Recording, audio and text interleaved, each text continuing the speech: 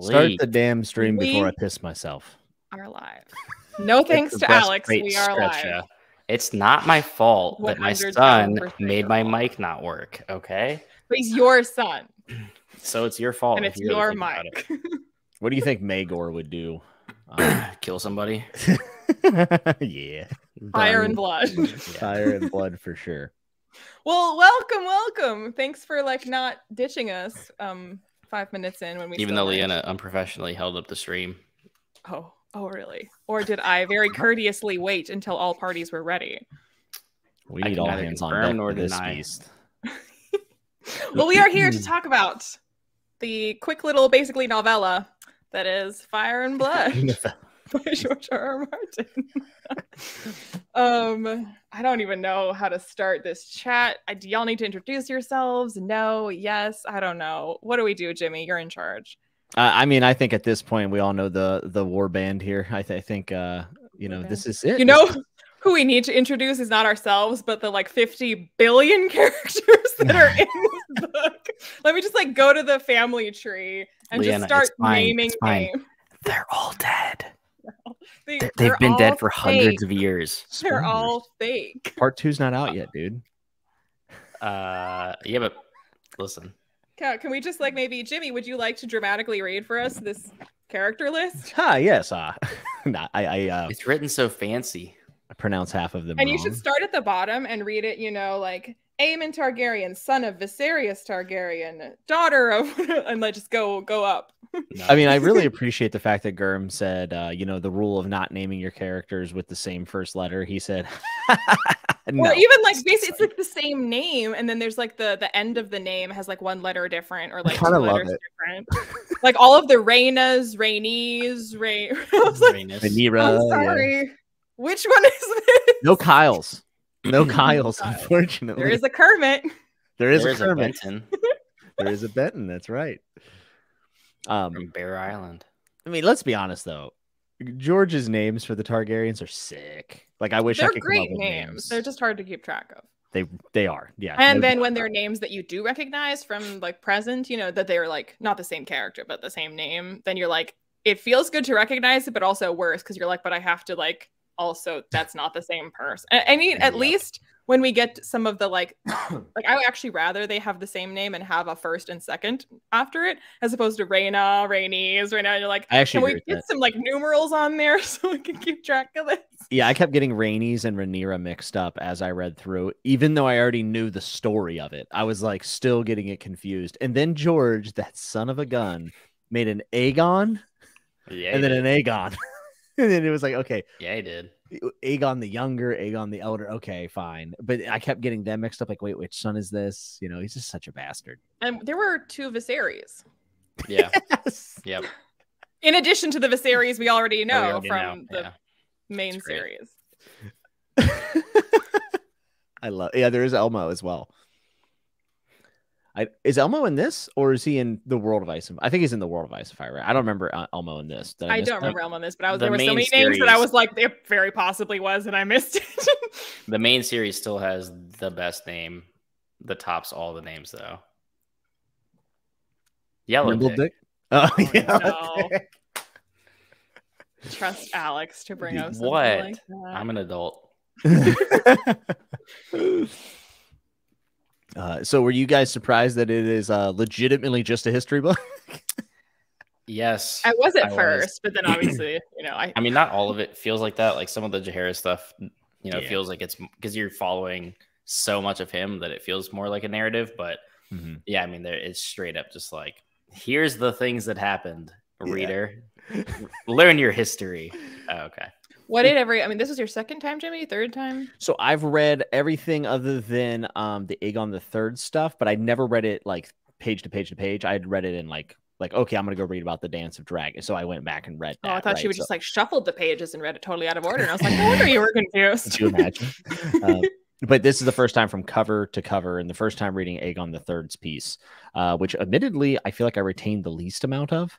Um, for whatever reason, I think it's because I was exhausted out of after the dying of the dragons, and I was kind of telling you this before, Leanna. But I, I almost feel like for this book, You mean when Alex was just like off having a nap? yeah, whatever he was doing, What's happening? Whenever you went to visit the Citadel, He's having a nap what right now. You, you, were, you were gone, so we were chatting before the stream started. Oh, you're talking about like literally five minutes ago. Yeah, yeah. my mic didn't work. Okay. Um, but I was saying it. How I kind of wish I could have broke it up. Um, like after the dying of the dragons, I needed like a breather because I love that section so much. Yeah. And then Aegon the Third just seems a little less cool. Um, but if I'd had like a Yeah. week or two, I think I would have been right back in it because I when I finished Fire and Blood, I'll be honest, I was kind of like, ah, like I'm kind of sad, and it did end abruptly, kind of like what you said, Leona, earlier. But you started a Game of Thrones again. I thought about it. But yeah, I mean, well, yeah, I did say that off, uh, off or before we went live, and like, yeah, this book. If I have a complaint, it's that it ends so abruptly. Like, Yes. not even just that, like, oh, I thought we'd get more story, but it did like wrap up. No, it literally feels like it's like mid chapter, like mid whatever. I was like, where's the, where's the next page? What, what, what? it, it was like he sent it to his editor, and they're like, George, stop, and he was like, okay, like that's kind of what it felt like. It it's always hard to tell these type of things, but did you guys get the feeling that George was just having a blast writing this shit? Oh yeah, it's probably like the dopest shit for him ever. You know what? It's like I know everyone wants me to continue this series. I think I'm just gonna write literal history of the Targaryens. And it's it sounds like real history too. Like I think Well, that's um, the thing that always impressed me. I was gonna me. say, like, what did you, what did everyone rate it? Oh, come on, Four. I didn't give it five. you know it's a five for me. Come on, I I'm gave biased. it five.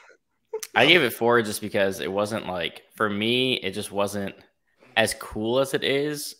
I feel like it just it wasn't enough of like it didn't interest me quite enough to be like, oh my god, I love this. Like I want to read this again. That's I was fair. just like, yeah, Well, so- it's really cool and like some of it's awesome, but it's also just like it's Targaryen history. So it just Well, like, so, like, okay, it just I like gave- has to knock it down a little bit for me. I gave it five, and I thought, you know, that part of it is, um, while probably the part that puts people off the most, is also the part that is the most impressive.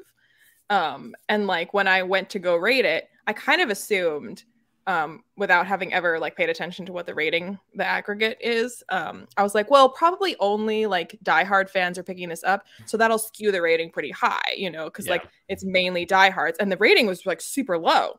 So Mhm. then I like kind of quickly scrolled to see like, okay, so like what are these Look reviews saying? And like the reviews, the reviews that are like, this is just give me uh, wins, bastard. No, no, I mean that's the whole thing is obviously stupid. No, but the ones that are like, this is obviously a lazy cash grab. I'm like, do you understand No. how much work went into this? Lazy. Fuck, like this is like takes are is arguably harder to do than the main series. Like, are get out of here? Like, do not even. Maybe you think a it's dry and boring, but do not even. Hardcover Targaryen history that takes place hundreds of years before the main series was lazy. No, I mean, that's just- Creed is a la- lazy cash grab. Fire and Blood Let's fucking go. is not. Okay, there's there's a difference. Yeah, but so like basically that's like if you like Doctor to Star because you didn't find it as engaging, like you know that's valid, like sure. But for someone who's like this is this is lazy, like No, la- lazy makes no sense. Like, me. you can't write a book this fucking long that's literal like you're creating history of your own fantasy world like the amount of like micro plots he had to come up with Yeah. is like you know usually an author comes up with a plot and then you can tell that plot for 500 pages here there's enough plots for like about Yeah. 700 different books if you Oh, took yeah. any Yeah. one part of this and make No. it a novel Don't out of give it and him you can come up with all of those plot lines and just don't like give him any ideas I mean, yeah. I, first off, I mean, I literally almost had a knip. I was dead. That was the greatest thing I've ever heard. Uh, but the fact that some of these things that we actually read were hinted at during the main series that he wrote 20 years ago, and he was able to fit it into, I mean, a pretty cohesive history. I'm not going to say narr- it is a narrative in theory, right? But it's not a traditional narrative. Uh, but he made it fit in the history and didn't make it just all about those moments. He like built around them, and like I don't know about you guys, but like at some points I was like legitimately not able to like just stop. Like I was like, oh, I kind of want to find out what happens after this, um, especially after the conquest because it felt like such an end of an era. Um, I was very very impressed with how interesting I found it, but also like how easy it was to read. Um, but also just like okay, so I already said it's hard to like come up with all these plot lines. So like don't say it's easy for that. But in addition to coming up with every single plot line, he also came up with like five alternate plot lines for many of the plot lines because conflicting sources say it might have been this and it might have been this. Mhm. So it, it like and then the fact that like including that so you had to come up with like a splintering of plot lines in the first place Yeah. and two that you're including that and that makes it feel more like a history like that you've Mhm. paid attention to that detail instead of just like telling a history because like a true history that of anything we have nowadays there's gaps there's holes there's things Sure. that like our best guess is this or like we truly do not know and we will never know It always was- I depends on who's writing the history too, right? Yes. 'Cause, I mean, the victors tend to write the history, and that's I don't know. It's just you, And you have also, to take like- everything with a grain of salt. which And is also also like the Western vibe. narrator of this book also is like so this source says thus and such Mhm. but they probably would have tended to view favorably anything to do with the faith whereas this source says this but they tended to just write anything salacious so neither is to be really relied upon between the two we can probably find some truth and it's like stuff like that i'm just like nerding out like that's amazing yeah, I felt like a big ass nerd reading this book. No It's, doubt it's about really lazy. it. Did you guys like Mushroom? Because I saw um uh, like Jake Bishop was reading this and some other people, and I, I don't know I don't think this is what Jake said, but I remember somebody I think it was in your Discord, Alex. They, uh, they were saying how like Mushroom really wasn't their bag, like they didn't really enjoy Mushroom, whereas I love Mushroom. well i and his mean what is it that they don't like about mushroom that I'll be honest, so I can't- lewd? I can't really Do I to remember. go like find the the Good luck. It was a while back, but I, and I've actually seen this from other people as well. But they feel like it's just kind of nonsense, like you know not to trust Mushroom. Whereas I feel like you're actually supposed to kind of read between the lines with Mushroom. well, it's just like again, like that's what I just said. Like basically, the two sources for the a lot of it that he's got that like those two sources consistently are where this author is pulling from. Are one is like from the faith, and Mm-hmm. one is mushroom. And he's basically been up front the whole time. Where like they're both skewed in like one is a puritanical version of things, and one is like an incredibly lewd version of things. Neither is going to be very reliable. They're both extremes. So we're like we're trying to navigate a path to figure out like where and when who was actually present who like what they might have been alluding to when we have a third source that can corroborate one or the other that like they're equally unreliable Yeah, and for me, Mushroom added some humor. I mean, you know, this is a textbook essentially, right? So, like, Yeah. whenever you have that little bit of humor, I think that that's what kind of carried me in through the second half. Um, literally, Mm. it is cons- but also okay does anyone remember the old like video from when the internet was young that was like badger badger badger badger mushroom mushroom it's a Oh my snake so like i just wanted to say mushroom mushroom yeah, I love Mushroom. I thought he was great. Um, I like when uh, authors play with narrat- narrators. Um, Yeah. Erikson does it a good amount. George actually does it uh, in the main series with Sansa and the Hound. And did he kiss her? Did he not? And all that kind of fun stuff. So I thought it was like really on the nose, but it works because it's a history book. So I loved it. Yeah, I don't know who. I don't know when this conversation would have happened. Oh, bro, it was like a month ago. It was a while back. I'm sorry. I, I was trying to search for mushroom, but it's probably like spoiler, like barred. So I'm not actually gonna find it. Yeah. Apparently, Yeah, I think it was. Whatever. Um, but yeah, I I I happen to enjoy Mushroom. I thought that it was funny. Uh, it hit my sense of humor, especially some of the things that he uh, well i up. I did partially at times think that like so we talked about in the main series about the times when George gets a little like into the voyeuristic. exactly. And so then like even though so like the narrator of this book is like and then we have this extremely lewd thing that is definitely not what happened, but I'm going to tell you about it. so like cuz like George wa- he is a mushroom. He wanted to write the salacious version, but then like he like has the like plausible deniability like cover of like and then this thing that like clearly didn't happen because that's too extra. But let me tell you every detail about what, what said happened because like I've just told you that it's no way it's this, but like let me tell you what it is. Yeah, he's getting the tabloid information and posting it in the middle of a uh, a textbook, essentially. um, I, you know what I kind of would have liked is where like th- there's definitely times when the narrator is like, okay, like we can probably believe Mushroom, like he said it a little bit dramatically, but like more or less he's telling us the truth about this. But for the stuff that was like way out there, like that's clearly not it. If those had just been footnotes, if he had been like, and Mushroom had like a wild story about this, like, and then just Mhm. like keep telling it, but there is a footnote that's like, okay, so this is what Mushroom said about it, and it was it was not it. I love that there is so like there's people that can recognize that it's literally a history book, and that's like functionally like why it doesn't work for them. Mhm. because they just don't want to read a history book. So like I'm kind of in that camp. And then you have somebody like this that goes, anyone else feel like this was the outline for the future HBO show? No character development, no Yeah, dialogue. It just felt like a laundry list of things that happened. You know, Like, that's like, what a like history, a history book. book. Yeah, like come on, guys. I now uh, I will say I think this makes me way more excited for House of the Dragon. I mean, I was already excited, and we got to see what happens. I was like, Jimmy, don't try to make it sound like you weren't excited for House Well, of the Dragon. I'm just saying that story that they're trying to tell. With the but Dance of also now that I've read oof. this, um, and I have context beyond they're playing a Targaryen. Who does Matt Mhm. Smith play? uh, I believe he's Daemon. I believe. Let me look. Oh. I don't know. I'll, fi- I'll find I'm out. wondering if like if House of the Dragon does really well though, are they just gonna like green like a bunch more seasons of it and just start picking through this book? But not that like They this like could. art would be anything to go off of. yeah, but, it's like, Daemon. It's Daemon, by the way. I mean, not again, like not that the art would be indicative of like who's playing who, but honestly, the the drawing that looked the most like Matt Smith was Aegon the Third. Hmm. Don't you think? I could see that. I, I do think Matt Smith has a bit of an antagonist look on him, at least with the the wig on and the, the Targaryen look. So Daemon being such a dastardly dude, Yeah. like it's good. I'm, I can't wait to watch Matt Smith in the show. I like Matt Smith a lot. I've only actually real seen him in the. Crown. Patrick said that this book is better than A Feast for Crows and Dance of Dragons. Big disagree. Uh, But like, doesn't this look like Matt Smith? Factually incorrect. I Yeah. don't who- who is Matt Smith?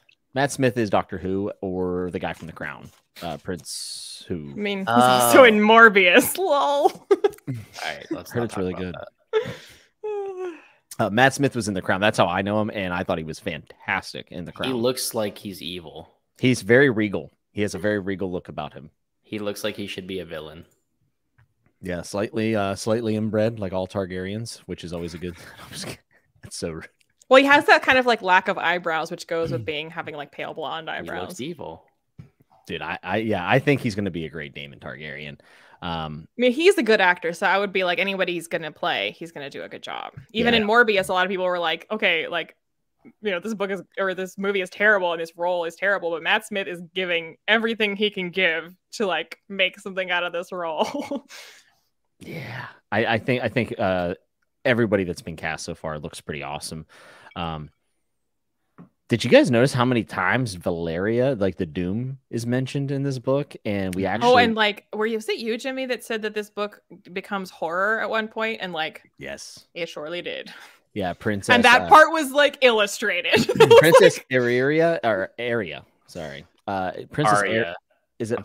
Uh, I was, I was like, I we Whenever I li- whenever you listen to the audiobook, it sounds like he's saying Arya. And I was just like, Oh, also there was a Yeah. part. So like I did the immersion reading thing of like reading along while listening, and Mhm. I've never done that with a book, and I couldn't ever do that, but I had to with this. Same. And like, there's the part where there's like Eric fighting Eric, and one's with an E and one's with an A, and like I was like, yeah, if I wasn't looking at this right now, if I was just listening to this, I'd be like, Eric's killing himself.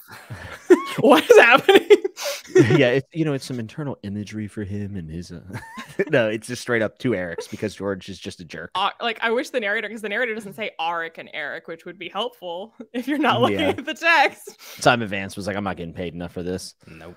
Uh, yeah, but uh, Princess, uh, I already forgot Area. Uh, Yeah. we'll call her Area, like just Area.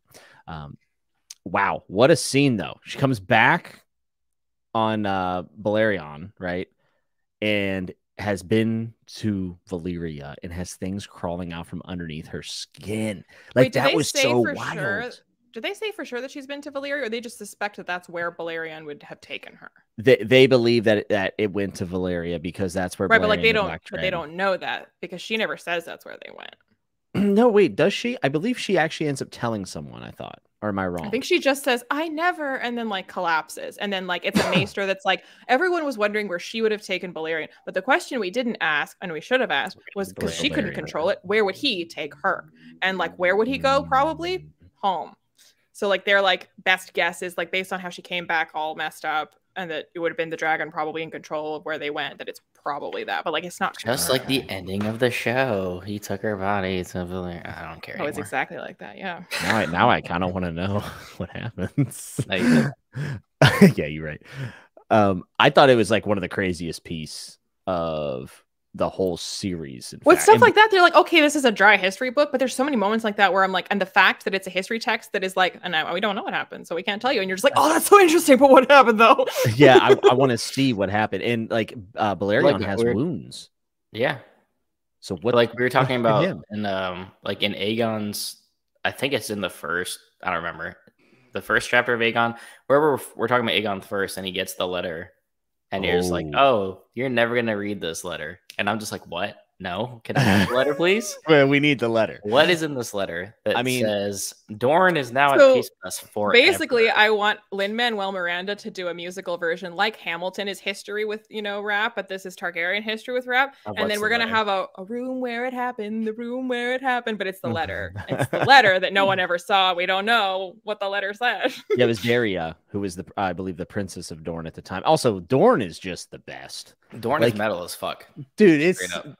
I know, I know we got Iron Island fans in the house. You know, I know, Leanna, you a love the Iron. Islands, but you got to give it up to our sand people down there in in oh, uh, Dorne is awesome. Holy cow!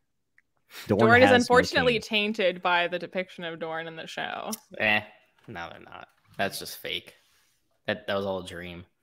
But no, I mean, just because the fact that you have the Targaryens march up to the north and the Starks bend the knee, like the north bends the knee, and then they go to Dorne, and they're just like, "Where is everybody? Why is no one here? What's happening?" And they just like they start like starving and dying of like disease in the desert, and they get ambushed and die more.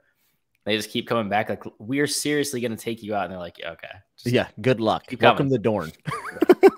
I mean, they're poisoning people, the assassination attempts, all this stuff, and it makes Dorne in the main series just so much cooler for me. Mhm. And and I don't want to harp on season eight or anything, but I will say this: the this is what make this is honestly, I know everyone has their beef. This is the beef I have with the last episode is the fact that Dorne sits at the council and lets the Stark say, "Well, we were independent before the conquest." It's like, Mhm. bitch, Dorne was independent for after the conquest. Like, get out of here. Like, if anyone should be the Seventh Kingdom leaving, it would be Dorne. Which this book was out when that sh- when that came out, so that pisses me off quite a bit. I mean, they obviously didn't read this, so No, they didn't. that's Um, fine. it is interesting that that's my biggest gripe because I know people have like way bigger gripes, but that's like the one that really like bothered me. Um, What do you Yellow think of this Toad. theory? Uh, I think the letter said Dorne had Rhaenys. She survives the fall and that she was in love and doesn't want Aegon to attack anymore, or she kills herself. So I do think Rhaenys was probably alive, and it's likely that her crown is the one that we're going to see young Griff get crowned with. I think that Oberyn Martell, or I'm sorry, Dorn Martell. I don't uh, remember a Griff in this book. But see, Yeah, if you- you do that though, won't you at some point have to tell the readers in one of the next two books that she's actually alive or was alive? I think so. Yeah. I think so. I think it'll happen. I, I mean, that would be epic, right? And it also is just a huge symbol uh dating back to like the original conquest and the fact that Rhaenys was kind of like her own person even though she's Yeah. involved with mean, her dragon was dead though, right? Yeah. Like that's confirmed. yeah, her her dragon was dead. Yep. Okay. But also, so this there's a lot of times in Fire and Blood when there's a malformed demonic childbirth. There's more than one. Yeah, what's up with Mhm. that? Like we're not talking about just like like really slight defects and like an Yeah. inbred No, we're kid. talking like talons and like Yeah. Yeah. But then you wonder, is that true, or are they just saying that to talk about how? But I also wonder because, like, with Dany, you know, there was the obvious one to one of like, well, this Mhm. witch lady said there's a price. That's the price. Like, we're like, Mhm. that's gross and weird, but like, it, I, I'm guessing that you know, you're like, I can see why that happened. But here, it wasn't always. I think there was one where there was like a witch lady like nearby, and you're like, probably her fault. But there was plenty of times when there wasn't, and you're like, is this supposed to be like basically like a fantasy version of like an incest baby that's like, see, all this incest is giving you demon children, or is it supposed to be a more like witchy thing where like they are somehow being cursed by something, or like what is that? well, Well, I don't know. What do you want to? I mean, or is it that to they're blood of the dragon and sometimes those recessive dragon genes pop up and they have like half dragon children that are like That's kind of what I think. And this after this book came out, a theory came out that Mary uh, Mazgul didn't do Mhm. anything to Dany, and She that probably Dany didn't. just had a miscarriage. Because if you actually remember, before this, she gets knocked down, right? So like the chances of that Gets baby up not. again. Yeah. So They're never gonna I down. Yeah. I, there's a chance that there is no curse on Dany and that she could get pregnant later, right? Like so. Well, I mean, if there's a curse on Dany, it's the same one that's plagued her family for generations. Generations. It's not Mary Mhm. Mag uh, Magzul. I always say her name wrong. Um, But like but she wouldn't have witch. any way of knowing any part of her history other than when Viserys Right. told her, and he obviously didn't say some of our ancestors Yes. had demon children. yeah, yeah. They uh, and you know she hasn't been around the the Citadel. There's no maesters to tell her these things, as we know the maesters are the ones recording the history. Um, so she's kind of in in the dark, and the only thing she knows is from what Barristan's telling her and uh, Viserys told her before he uh, got the Golden Crown. So um, it's interesting.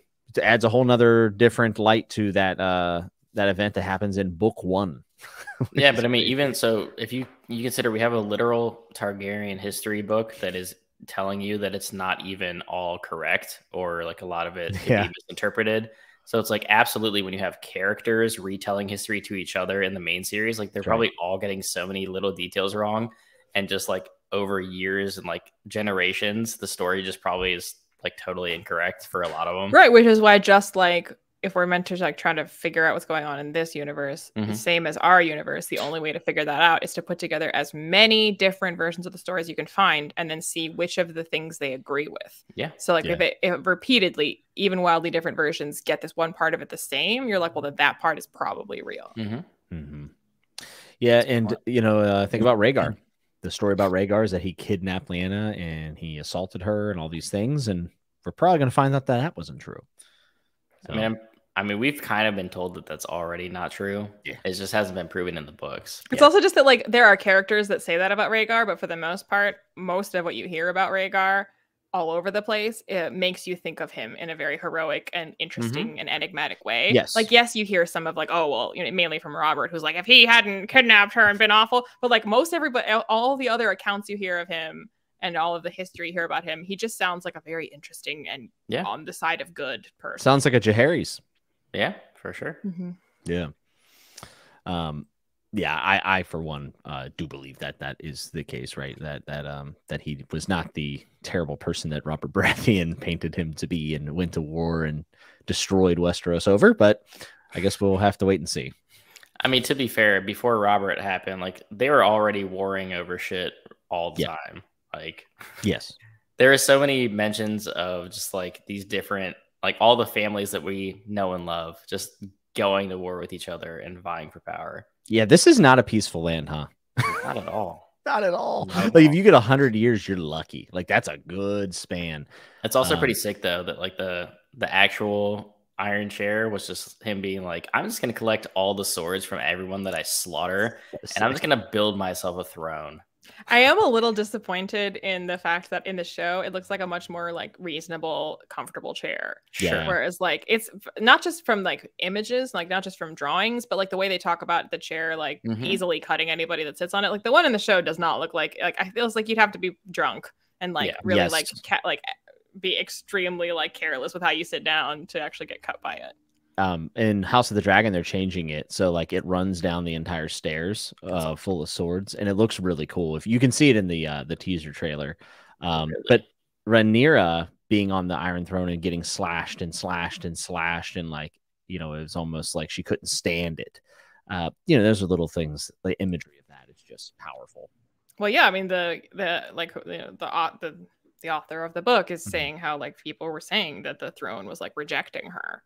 Yeah and I think someone mentions that when Joffrey is on it like doesn't he get stuck or something in the leg and he like cusses at the ch- might even Oh, when you say stuck, you mean like pierced? Yeah, like I just- thought you meant like no. stuck. No, I was like, no. no. I don't remember him getting stuck. no, they didn't have to bust out the butter and Crisco, and uh, I got my head stuck in between two uh, fence posts one time, and they my mom had to put Crisco in my ears. I remember that. Anyways, Basically the same thing. yeah, same thing, really. Uh, what did you guys think of the conquest? Because uh, this is the one I've been over so many times to the point where I was kind of like, okay, like let's get through it. But if I really think about it, it's pretty dope. Like when Aegon is says, uh, "When the sun sets, your line shall end," and then he just burns Harrenhal. It's pretty metal. it's so metal. I wanted to bring that up because that was he was like, "What are you gonna do? I'm in this keep. Like you literally can't touch me." He was just like, "Look at me." Can't touch Like this. It wasn't just like I'm just gonna kill you. Like you won't be alive to see tomorrow. It was just like no, like your entire family will not exist anymore. Jesus, could you imagine? Oh my god! And then like you know doing the thing That where he flies in the good. sun, and he comes down. It's just That was like, so sick. Like way up into the So clouds sick. and comes straight. Yeah, Oh my god, that was awesome. yeah, absolutely dope. Honestly. I think the Conquest would make a great movie. Oh yeah, for sure. Give me that. It'd be like watching Reign of Fire with Christian Bale and uh, whoever else was in that. I mean, I'll It'd take be the exact same thing. honestly. Matthew McConaughey would jump off the top of a castle shirtless with an axe. I mean, I'd pay Yeah. I'd pay twenty or dollars. Uh, now I want to see Matthew McConaughey as a Targaryen, but still with his own accent, being like, "All right, all right, all right," but you know, with like silver hair on the Iron Throne. I'd pay for it. I'm not gonna lie. he should play Viserys the First. I'm in. I'm all the way in. um, Maegor the Cruel. Uh, I mean, one of the most Very nice lad. what a nice lad. Just the uh, the coin flip of the Targaryens. I mean, he he is definitely the the bad side, right? Yeah. He's But a also, real, like, real you piece of know, shit. There's, I, I like the way that the throughout the book, like you can kind of.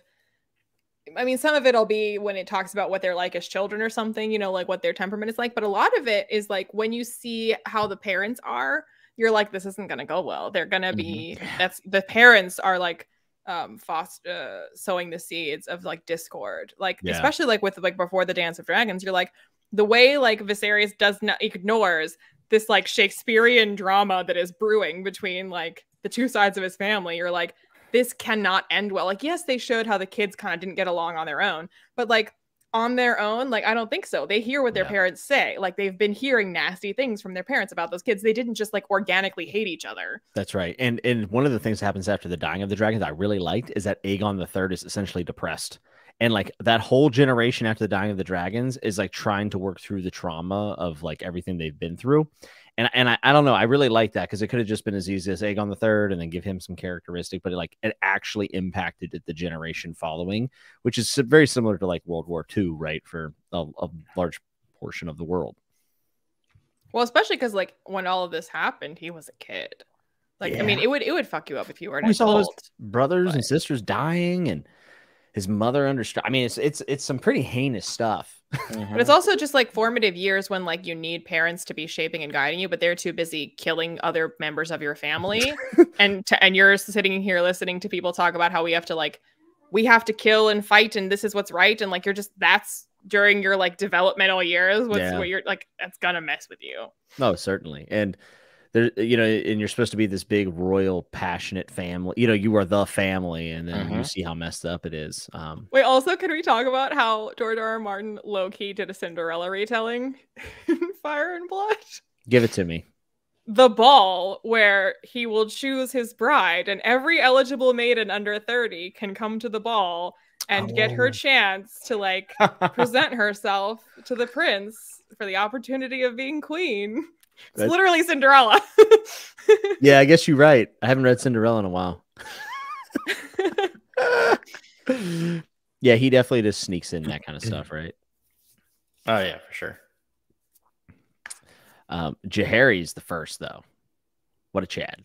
Like what an absolute just a unit, dude. I love. He this had a guy. lot of the the Targaryens have a lot of children. They sure do. also like those chapters were like uh Al- alice Alysanne when Yes. she's like so Yeah. done with having kids and he's like nope i think we're gonna have some more and she's like please Please no stop. more Well, th- those two together Was that together. Jaehaerys or Aegon that had thirteen? Was that Jaehaerys? Or was There's that Jaehaerys. It's Oh, the- Jaehaerys, I believe. Yeah. Because Um, like she oh just my kept popping them out. Goodness. because Jaehaerys and Alysanne. Yeah, here's his family tree. Yeah, They, like told us his first five kids kind of like separately, and then all of a sudden she's like, and then she had like, a whole bunch more, and they just like Yeah. named them all in one paragraph, and I'm like, are you, I hope you're gonna like like come back to that and not expect me to just remember it off of this paragraph. well, Jaehaerys taking over, and there was so much turmoil. And then whenever he knights Sir Joffrey and makes him part of the Kingsguard after he was actually against him, um, what a, it was a good moment. Good moment of healing for the realm. And Jaehaerys is obviously the best king at this point uh, Mhm. since Aegon. Um, and then we get all of the supporting cast around because Alysanne is amazing, I, and she is the one that got rid of the the right of the first night, even though we know Yeah. people are still practicing it. They went up north, and her dragon couldn't fly beyond the wall, which was a little interesting tidbit that I was like, well, why is that? Um, because otherwise the Night King would throw a spear at it and then haul God it out of damn the frozen ocean and turn it into an ice dragon. well, you know what she did? She just turned around and she went to Mole Town and went and Mhm. saw the Night's Watch prostitutes, which I also Yep. thought was cool. And you know, you can tell the Night's Watch is actually kind of regarded at this point, like it's not you know what it, what we know it to be from the main Yeah. series. And I thought Because it's not completely broken down in a joke yet. Yeah, and it, and it, like you feel that, like it actually felt different, and Mhm. almost makes you like sad for the guys you know that are in the Night's Watch from the main series. Yeah. Um, I just love them touring Westeros, seeing the small people, and Jaehaerys being like, "You guys can, uh, Damon can have his warring. I just want to build roads. Like Mhm. I'm just making babies and I making will roads. have roads. That's so dope." But the King's Road, you know, we hear about that, and it's like, oh, all just like throughout his it. life, how every time something sad happens, the narrator's like, and then he did what he always does, is gets back to infrastructure. Gotta build some more shit. and thank goodness he did. I mean, it's like, let's keep this guy sad because every time he gets sad, we get infrastructure. He does. He kind of puts the nose of the grindstone. You know, you work too hard, Jaehaerys. Uh, Well, this about- is when you have the Hamilton style song about writing like you're running out of time. He's building like he's running out of time. he was such an important part. I mean, he basically saved the Targaryen family and probably Westeros as a kingdom. Yeah. I Um, mean, they're they're mentioned multiple times in the main series too. Yeah, Like And then it retellings had to of be his stories. descendants that went and did a dance with dragons. Yeah. Well, I mean, when you have that many kids, like some of them are gonna be a little sus. yeah. it just gonna surpri- it just fruit. surprised me that like they didn't establish clearer like un like inarguable succession rules when they had problems with this already quite Yeah. early on you're like just come come together have a council and be like from now on these are the rules of succession no matter Yeah. what Yeah, and they kind of, you know, he uh Jaehaerys end up setting a different kind of precedence, and then they just go against it pretty much immediately, uh, which is frustrating. But I think the easiest time to revolt against a new rule is directly after it's done, because once it's solidified year after year after year, it becomes commonplace, and people kind of forget about it. People might still get angry about it, but you know, it, it, that's prime time. That fresh, you know, implementation is is when you can kind of revolt. Um, what about Rogar Baratheon? My pick for best character that isn't a Targaryen in the book. I love Rogar. that's because you love Baratheon Yeah, right. Well, you're not wrong, and he does he does kind of feel like a little bit like Bobby B. But Rogar goes through. well it was so- interesting how like the these like uh ancestors they don't feel like oh this is exactly that you know like how tv shows will do like the parents generation but the same actors are playing them with like different Yeah. like with a beard now um so it didn't feel like that it didn't feel like oh this is like ned stark but 300 years ago so he's got like a different beard like it, i mean they but There's like even a little bit so but I was gonna say, but like, despite so like, it didn't feel that the same, but it did feel where like there's a kind of a way of thinking in this part of the world, and the Starks reflect a Stark kind of way of thinking, and Mhm. like he seems like a very like he seems like he'd be real in the Stark family, like eh, related to the like there's a sameness, and same with like a Baratheon, like not the same person, but like there is a something there that's like kind of familiar. Yeah, and and you know he's kind of described a lot like Robert too. Like you know, I mean, he's he's supposed to be a big old Chad and big beard and muscular, and I think the Warhammer comes the after him. Targaryens, though. Yeah, and well, he ends up uh, marrying into the family through a uh, um, Velaryon or what was it? That I'm was trying to name. remember her name. Was Uh, it Velaryon? No, It's not Princess Alysanne. It's it's Aegon's uh, mother. it's with a Velaryon. J. Yeah, it's Is it? Alyssa Velaryon. Yes, thank you. Oh, okay. Yes, That's the the du- the one. do Dowager Queen. Is that how you say that word? Dowager, Dowager. Um, which is the prince's mother, though. So he marries in, and it's interesting because he wouldn't declare for Aegon during Aegon and Maegor's battle because he felt like Aegon wasn't battle tested. Uh, so he, he kind of goes in and out of being like loyal and then being a friend and then becoming an enemy again, um, and not wanting to. Also, man, the Targaryens really love marrying each other, don't they? We gotta keep the bloodlines pure, Jimmy. We like to keep it in the family eh, over here in Westeros. But I like how at first, like they, the you know, the faith tries to like be like, well, we were okay with it with the originals, but like not no more. And then you're Mhm. like, well, and then quite quickly after that, like, fuck it, these guys are gonna keep doing it. Make a doctrine of exceptionalism or something. Well, make we- I it mean- make sense. yeah, we I mean we see Rogar and, and Alyssa basically come to turn like come to blows over this, and this is like what casts Rogar out uh, for a little bit. Um, so I, it's it's just it's just all about marrying your sister. Apparently, that's or like, uncle or cousin Yeah. if sibling is not available. Yeah, he was a good hand of the king, though. I thought. Definitely better than the hands that Aegon the Third got. I would say that's correct. Yeah, Lannister hands seem to uh to not do well. Yeah, the Lannisters certainly don't have the Targaryens' best interests at heart. no. The Not at Lannisters all. have the Lannisters' best interests at heart. Yeah. I, if you go to Rogar's page, because I was like trying to remember every little detail, because I just know that I, I absolutely loved him. Mhm. Um, his page is so long, like it's insane how much Rogar did in this book. Because he's so close with the Targaryens. Like he was actually important. yeah, and I mean, whenever he was waiting for Jaehaerys to come of age, I mean, he basically ruled the kingdom, right? Mhm. Um, it was sad whenever he ended up getting sent away. I want to read the Kingmaker thing, but this is like four paragraphs long, so we can't do that. But yeah, Rogar, super important, super dope. I would love to see Rogar on screen. I think he'd be good. And just get uh the dude that played Robert to come back. Just- just He'd have have- to slim down.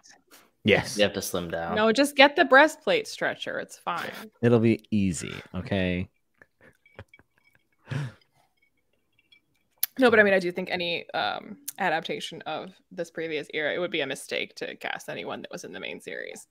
Oh yeah, yeah. No, nah, not a chance. There's no yeah, way. they can do unless there is some like time, unless the timeline crosses over to where it would make sense to have them on this like on screen at the same time. Definitely don't cast them as a previous character because that would be dumb. yeah. That'd be nonsense. Maybe like the little child that played Rickon, if he's an adult now, he can play someone, but because like no one will know. I don't, really don't care either, but because Rickon kind of sucks and he's irrelevant. But Rude. He's a What? child. Uh, so What was he supposed to do? I don't know. Zigzag. Yeah, and I forgot that uh Rogar and Alyssa had like that big falling out too. That was kind of sad, huh? Because remember, like they never got better after that, and I think she ended up even having kids after that point, but they were like never on good terms again after that. That was kind of sad. It was like its own little tragedy. There's He so many good man. tragedies. I mean, I was still like to those people who are like, you know, it's just a list of stuff and you like nothing. Like the amount of like emotions I had reading this throughout were like it's truly like for being so arm's length and you Mhm. know dry. Mhm. Like about when um Alicent is losing all these children. Um and no, we're not talking about like in infancy because she did lost, lose a few that way, Yeah. but like when she loses like all of her daughters basically in pretty quick succession and like the yeah i mean there's just like so many times when i was like this is this is truly sad. Or like um after the dance um with with of dragons uh, after, after the dragons danced um they call it the Uh, dying of dragons, but it's actually referred to as the dance. yeah um the when you know now it's aegon's reign and we had um like the suicides which you know Mhm. or is it a suicide? It's probably suicide. Like that's so sad Yeah, it is. You know, it's interesting that you say that about the distance thing. So I just read uh, Grace of Kings by Ken Liu, and I thought it was absolutely fantastic. But Mhm. it, it does have a distance approach. It's al- it's almost like a history, but like you're you're kind of there for it, right? Um, now the second book gets into much more of a personal narrative, and I also think the back half of the book does as well. But I, I've seen a lot of people struggle with the distance thing, and I get it. But I think it's also like one of those things where everyone's been trained so much in third person limited that they have to know like, oh, they're sad because they told me they were sad, right? yeah. Instead of just looking at an event and like thinking about the moral, you know, impact it might have, or uh, just the emotional impact it might have on someone. And I know that that's not like not everyone's cup of tea, and that's totally fine. But like, I don't Well, know. I it's mean, strange it- to me that it most with that. reminded me of like if you did pick up a history book about Alexander Hamilton and you read about when his son dies in a duel and it would be a dry ass history book but I would be sad by it. like if I I read that and it's sadder because you know it's true so if like a book like this does enough of a good job of like being like a history book where it feels like I have to keep being like, yeah, but this there are no dragons. But aren't there though? Like it feels so genuinely like a history book that the same frame of mind that I'm in if I'm reading an actual history book where I'm like, that's so sad that that really happened. Um, Yeah. so like reading this, like that's I know it's not real. Like Yes. I'm not an idiot. like some people who think the Game of Thrones is a history show. But like I'm in that frame of mind where like this feels like a history and you just told me in a very like you know, non-emotional way and then you know this person died. And like that's what and we move on from that and we don't and that that coldness like makes it sadder to me because it's just this like it's not like paragraphs and paragraphs of like it was so sad and we cried so many tears and it was I mean like that at that point I'm just like yeah I know it's sad but here when we're just like and then they died and move on and I'm just like oh Yeah. so sad. You know what I think it comes from a little bit is the fact that when we read, especially like, you know, we're in a community where like everyone reads a shit ton for the most part. Mhm. And even if you only read like three books a month, that's a shit ton. Like that's a ton of books, right? Way more than the average person. I mean, It's right. And I think that people just read to find out what happens sometimes, which is fine. I I do it all the time. I mean, it, it just is what it is. But whenever you do slow down and think about the implications and kind of like take a moment, I think that especially here with the history, I think that you can get a lot more out of books. And that's what I did with Grace of Kings. And I mhm. think that's why it resonated with me so much. And I saw, I mean, a lot of people comment on my uh, review and they were just like, you know, I don't understand how you got emotional with this book because I feel like I was 100 feet away from these characters. And I'm like, I just thought of them as people. You know, I just, I always think about that too. Like, whenever, like, uh, uh, Fantasy Network Hubs wants to know what you are drinking. Oh, this is the Cardhu Gold Reserve. Uh, it's the Fire and Blood. I'm sorry, are you the caterpillar from Alice in Wonderland? I, I, I haven't seen it probably. If I am, I want royalties. Uh, it's the uh, yeah, it's the Targaryen Fire and Blood uh, one. It's awful. It's legitimately terrible. I don't like it, but I'm gonna drink. it Honestly, anyways. this is pretty terrible. That's why I still have it. I should have. I had a I had Grey Goose and Sprite, and it was delicious. Actually, it was very good. I mean, this uh, one I know you're supposed to like freeze it, and it's like fucked up now, so it doesn't really work because like it color changes, you know, when you freeze it. Yeah. But the bottle, like, it's I've had it for a while, so it doesn't really do it anymore. It's like I know you're supposed to drink it cold, but like honestly, you have to drink it cold because it's not very good. And like when it's cold, like you can't taste things as well. Yes, cold. I have the fire the Fire and Blood one of those as well, and it's actually worse somehow. Well, I saw because um when I was looking for um hope I mean maybe the Stark one again, or like since you recommended the um, Dude, just drink Night's something Watch one. else. it's not worth it. it's not worth. But like I didn't know that Johnnie Walker had done because this is the White Walker. This was like the first one they did, and I didn't know that they had a song of ice and a song of Fire. fire. now, It's a so cool then I little looked at those and I looked at the reviews because I liked the bottle for the fire one because like the ice one it has a wolf on it, not the Walker, but like it looks quite similar. So I was like, oh, I want to get the fire one. But I looked at the reviews, and the ice one has or the fire one has terrible reviews, and the ice one, which is not this, um, but is also this color bottle, it has good reviews. So I was Hmm. like, maybe. Was the fire one like Fireball? It, No, they're all Johnnie Walker. It Um, just tastes like shit, blends. to be honest. it just isn't good. Like, I have all three. I don't even remember what the ice one tastes like. I just remember the White Walker one was like, eh, and the Fire one was terrible. Which also surprised because like Black Label, I really enjoy. So I expected this to be on par with. They were like, we can put the shit one in because we have the cool bottle and people are buying it for the bottle. Yeah. Yeah, these idiots will buy it, and I sure did. I- yeah, the bottle is cool. I'll just like refill it with some Black Label. oh man, They should do a blue label because it's better. Blue Label is very good. the Maester's reading a caution for young girls at candlelight under the sheets. I don't even remember. I was gonna say this I don't remember that. dude. So Miss Duncan the Tall, like, is easily the biggest A Song of Ice and Fire fan I've ever met. Uh, That's she because knows... you can't meet yourself. Well, no, no, no. She puts me to shame, dude. Like I've never seen anyone know the text better. I'm any of the YouTubers, I'd put her up against them. She knows all of she knows this book in and out. You know, she I would read a section. She's like, Oh, what'd you think of this? I'm like, that happened in what I just read? And she's like, Yeah. I'm like, shit, missed it. What? This did not help jar my memory. That's what I'm all. saying. She just knows, dude. She knows this stuff. She's a scholar. I told her she should start a blog because she had a really amazing write up about how women are represented in Fire and Blood. Well, I think she is a maester. She is amazing. but I told her she should start a blog because she, I mean, she did in my Discord. I mean, it was like five paragraph, beautifully written. I was like, you should probably publish this somewhere. like, this is really good because I do think the women in Fire and Blood are awesome. Like Rhaenyra, I mean, some of them go through some awful stuff, but and like, that's I mean to be clear, that's yeah. because we're all sexist and misogynist. That's why we think well, this. Clearly, Yes, clearly. that is correct. I found out if you uh nah, never mind. I'll tell you guys after. Never mind.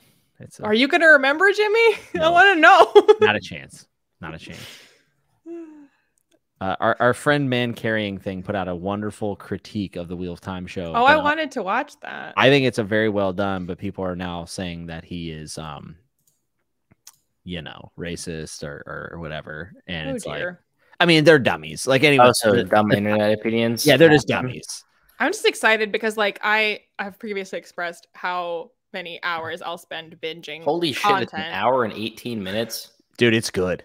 It's bro. honestly but like I was really excited because like I had hours and hours, I had frankly days and weeks worth of mm. content for like Rise of Skywalker, which and like for Fantastic Beasts. So I when Wheel of Time was what it was, I was like, yes, there's gonna be hours and hours of content that's gonna be like taking this apart. But no, like no, there aren't um, almost any videos that are talking about Wheel of Time. So I was like, oh yes, an hour long video talking about Wheel of Time being bad. I'm so excited. Yeah, somehow that show got really polarizing, like even before it came out. And you know what's nice about House of the Dragon is, is like I feel like it's just kind of a quiet rumbling leading up Yeah. to the show. Like everyone knows it's coming. They're not doing a ton of press.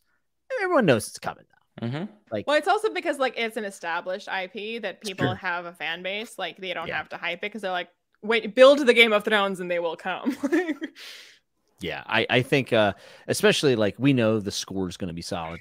We know the shots are going to be solid. The writing should be good. Um, like there, there's a lot of things that I think you don't have to worry about when it comes to HBO shows, and that's nice. Well, from a technical standpoint, because I mean, Wheel of Time had a lot of problems, and one of them was technical. Like it wasn't Yes. all like you know, it's just a gorgeous show, And but it had no COVID, I mean, substance. yeah. But I mean, like it wasn't a situation Oh, where they're like, oh, they had like all the technical aspects, but then the We've writing was bad. at Because length like the end of yeah. the end of Game of Thrones was that way, where we're like everything technically is still beautiful, but the writing is bad. Whereas Mm-hmm. Yeah. like Wheel of Time also had technical issues. Whereas with like you say with HBO and House of the Dragon, we can be certain that like at the worst it'll be like season eight, where like it will be great in every way except the writing. Like that's the only thing that could possibly go wrong because it's gonna have an amazing team to put everything Yeah. else together. But to a general audience, big spectacle works. So like Certainly, yeah. a lot of general audience probably enjoyed season seven and eight of Game of Thrones because they were just like, this is cool. And they did. Yeah. Yeah. The general people I know that aren't us, like in this Mhm. Yes, niche. well, general people have this at an aggregate of like just above three. So Well, general people. I didn't say I agree with them. I didn't say I agree with them, but those are the people that spend the money. I mean, those are the Yeah, people who, sure. who who who show up week in week out and talk about it at work and all that thing, all those things. Um, I mean, I don't know. I'm pretty hyped. I think uh, seeing the dragons again going to be pretty dope. G- God, the dragons are sick in this book too. Like I, I just always Dragons forget. just Well, I like that they have personalities good. without being like straight up goofy animal companions that talk. You know, like they have just like you get like through subtext and through the way they talk Mhm. about the dragons, you have a sense of them as like they're not just it's a dragon. Like there are Yes. unique uh things about each one where they're like they're that's not just also that they're like oh they're, they're different colors. Like they have the way that you know your pets. Like they have personalities, but Hmm. they're not personalities in the way that Hmm. Like is a full on human that's a talking dragon. Like it's that it I feels actually more like like a a very lot. giant pet. Yeah, Yeah. you put you put that in a wonderful way, actually. A pet, because I don't know about you guys, but like, uh, my my cat Denver hates my mother. I mean, just hates her, A- and it's actually rude. Like he's downright rude to her, and uh, but you kind of get that a little bit from like Balerion. Like Balerion could not stand Viserys, you know, and and well, I enjoy like again that. like the, the this attention to like these little details that just make the the world in the regular series feel real, and then in a history book like this.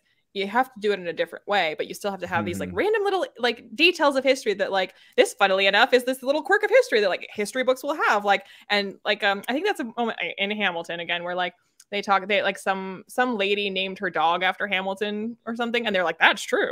like it's like with those weird like history facts that you just like throw out Yeah. there. So like the the idea of one of the dragons being called cannibal because it eats the Yes. other. I was like, I kind of love this. Yeah. yeah, it was kind of dark too, right? Like the dying off of the dragons. Like I was like, no, like you could see it happening, and oh god, uh, what about the stolen dragon eggs? We get a little portion of that. Do you think those three eggs are the ones Dany got? I mean, you can't help but be like, is Could it? be. I think Yeah. so. I think it was. I think it's it's just three. an Easter egg. It's yeah. It come on. An It's Easter egg. good. and we just passed Easter. God, this is perfect. What a great stream. For that, I'll drink a little bit more. Oh God. I'm gonna. I so know you mad. have other uh, Song of Ice and Fire whiskeys, Jimmy. You do not need Or to drink just this one. anything. Sometimes Just you gotta drink tough it. Or like drink put it something over that doesn't ice. make you Put it over squirm. ice.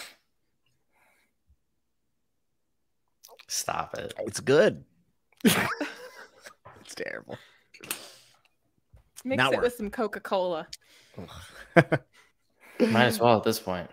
Um, Vincent said, "I like that King Jaehaerys and Queen Alicent's dragons were uh, seem connected since their original writers were married." Yeah, and I liked how some of the kids were like naturally good at riding dragons, and some of them. And it was like, also interesting shit. the dragons reacting when they would die, uh, and not Mhm. because they died in front Yeah. of them. Like they would know. Yeah, kind of like the wolves, right? Like, there's definitely like a bit of uh Bit of the bond. wit in this Yeah. world. They are good friends. Gurm Mhm. and- And here again, like I feel like it feels more authentic um because I feel like there are other I, I I think I said recently and I've said before that like in theory the idea of a book having dragons I'm like ooh dragons but then like 99% of the time I read a book that has dragons in it and I hate it like not that like I hate the book but like I don't enjoy well, how to be fair, you hate made. every book you read. well, Exactly. there's that but I mean George R. R. Martin writes dragons in a way that I very much enjoy like I like how Have he you writes read dragons. a book from the POV of a dragon though? Because you could do that. Maybe you'll love it. what what what book is that Oh shit! I actually I don't think I do. I still have it. There is a book that I got at like a used bookstore. That, um, it's like a multi POV, but I think it's written by like EE Knight or something. I don't know. I picked it up because it was like a dollar, and I was like, "This sounds interesting."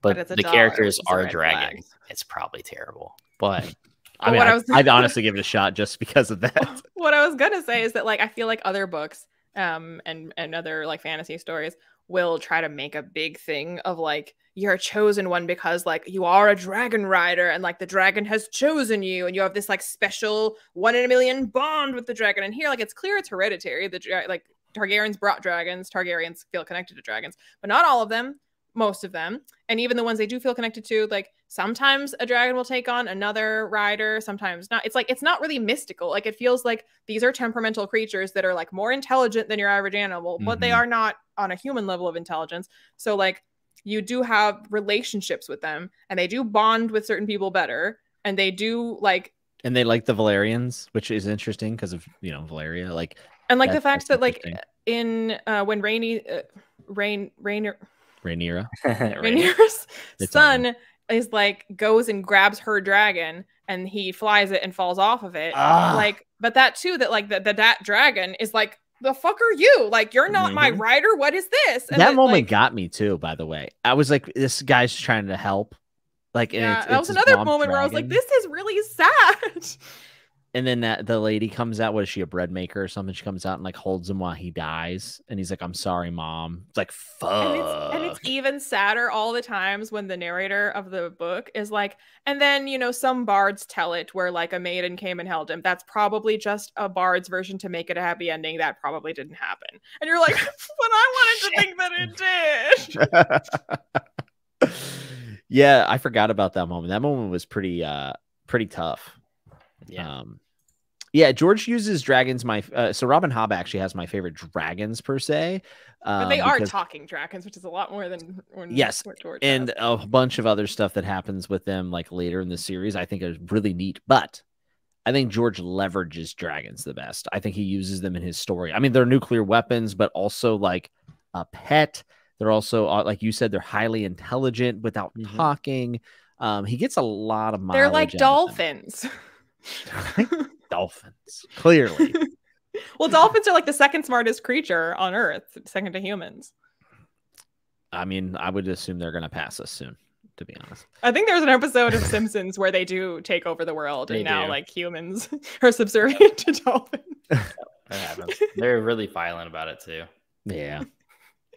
Lauren Lauren is in the chat. Lauren is uh um uh just finished Fire and Blood like a couple days ago. She like rushed to finish it for this chat, so that was cool of her. And uh she enjoyed it a lot. I think this was her first ever read through of a Song of Ice and Fire with us. Hell yeah. Isn't that cool? I mean, this was my first time through Fire and Blood. Me too. Yeah. And Knight of the Seven Kingdoms, which I did Oh, I did get a little dorky smile when we're talking about the first uh Kingsguard. And they're like, and yeah, one was a hedge knight. And I was like, yeah, he was. Let's And then they said go. I was like, he said Duncan. I know the name. oh, Dunk is so awesome. Dunk's great. So great. I'm so proud of her. Have you? So- I haven't seen who they cast. Do you know who they cast for? Yeah. So uh, Corlys Velaryon. Let me uh, get the actor's name. I think he looks awesome. Um, who? Corliss just Valerian, the sea snake. Uh, who Did they cast up- the same guy that played Euron? Uh, this is the one that uh, everyone that Oh. thinks you know that everyone's woke if there's any actor that's not white. Um, so it is a black actor, and his name It's is uh, so it's the guy in the trailer then. yes, he Yeah. looks dope. Yeah. Is it a familiar actor? Uh, I think it's semi. Uh, I think he's been on some BBC um documentary or not or dramas rather. Uh, let's see. I mean, he's about to be in a documentary called Fire and Blood. yeah, you're right. You're right. Steve name- uh Kusan. Yeah, thank yeah, you, that Hunter. sounds familiar. I watch a lot of British stuff. Yeah, he's a British actor. He's a little older. He's been in a bunch of stuff. So Judge Dredd, Shooting Dogs, The Sands of Time, Prince of Persia, which is interesting. Um, but yeah, I think he looks really cool. And also the actress that's going to be playing Princess Rhaenyra, I think looks amazing. Like she's perfectly cast, in my opinion. Yeah. Uh, Emma D'Arcy is her name. She yeah, I mean, been in a I- bunch of stuff. for a lot of this, you just kind of look at it like a lot of fantasy takes place in very white places. hmm And part of casting a TV show, it's just going to be inevitable that you don't cast only white people. So Yes. Like, there are some things where, like, The Last Kingdom is almost entirely white people until later in the show. Vikings is almost entirely white people until later in the show. But a lot of that kind of makes sense because it's more like historical of like these places in the year 800 probably didn't have a lot of ethnic diversity or racial Well, and that too. I mean, Yeah. like, it, the, while you can take liberties depending on the style of the show, a Mhm. historical show that's trying to be somewhat historically accurate is gonna, hi- you know, people that look like the game of that part of the world. But a fantasy, yeah. there is no such thing as like accuracy. So Yeah, Well, I mean, feel like anyone a lot of people would bent out of argue it shape. for Song of Ice and Fire simply because it's supposed to be like based on certain locations of history and like historical context, but it's like it's still it's fake. Like it, Yeah. everyone will be okay. Yeah. Uh, anyone taking it that serious is really, really dumb.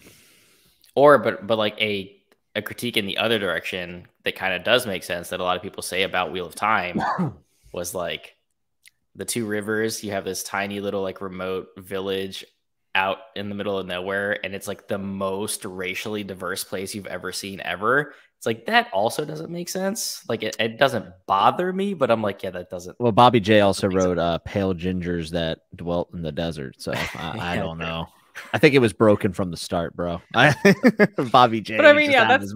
I think when you're trying to like make something feel realistic, like there are plenty of like scenes or like locations in these fantasy stories that are more cosmopolitan, places Mhm. like King's Landing, where Yeah. you have a lot of Yeah. mixing of people. Whereas like if you had like the Starks of Winterfell all looking like very like multicultural, you'd be like Mhm. unlikely. But like the fact that King's Landing is very multicultural, very likely. The fact Yeah. that the further south you go, very likely. Any trading town, any trading Mm-hmm. post, very multicultural, very likely. Yep. yeah, yeah, and also the Valyrians, like we, we don't know, like they can be whatever. Like we didn't see them Mhm. featured in the main series because they're they're they're gone. So Yeah. like we can do whatever we want with them. They're gone because of racism. That's it. That's it. That's possibly true. Uh, but Corlys Velaryon is so interesting because he's the one doing so much of the voyaging in the series and like mapping out different places that they haven't been. But he's also part of whenever uh, Daemon Targaryen, which will be played by Matt Smith, whenever they wage webs on uh, wage webs, wage war on the Stepstones. Um, because Daemon wants his own kingdom, you they're said just- wage webs. I really wanted like a Spider-Man crossover where they're like web slinging off of dragons. yeah. I mean, I'm down. Again, I'd buy a ticket.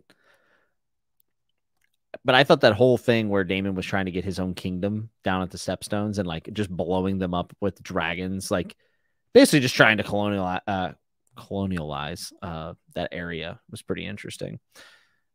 Duncan Hall says the council passing over Rhaenys claim was doubly sad. Uh, first over her sex and second over her bump. Uh, the sea snake was the best hubs. He totally Mike dropped his way out of the council. Yeah, yeah. Rhaenys and uh, the sea snake are gonna be awesome to see together. It's gonna be cool. But yeah, I mean, like that whole time, like not that I mean, they're both sides are kind of awful during the dying of the dragons, the greens and the but, blacks. um, yeah, but like if there is like, I mean, it's hard to say anyone's in the right because they were conquerors in the first place. They made their own rules as they went. So you're like, how can you really claim to be like this is right? But I mean, like if anyone is right, she, Rhaenys has the claim. She was made the heir by her Right. father. He never Yeah. changed it. He had plenty of opportunity to change it.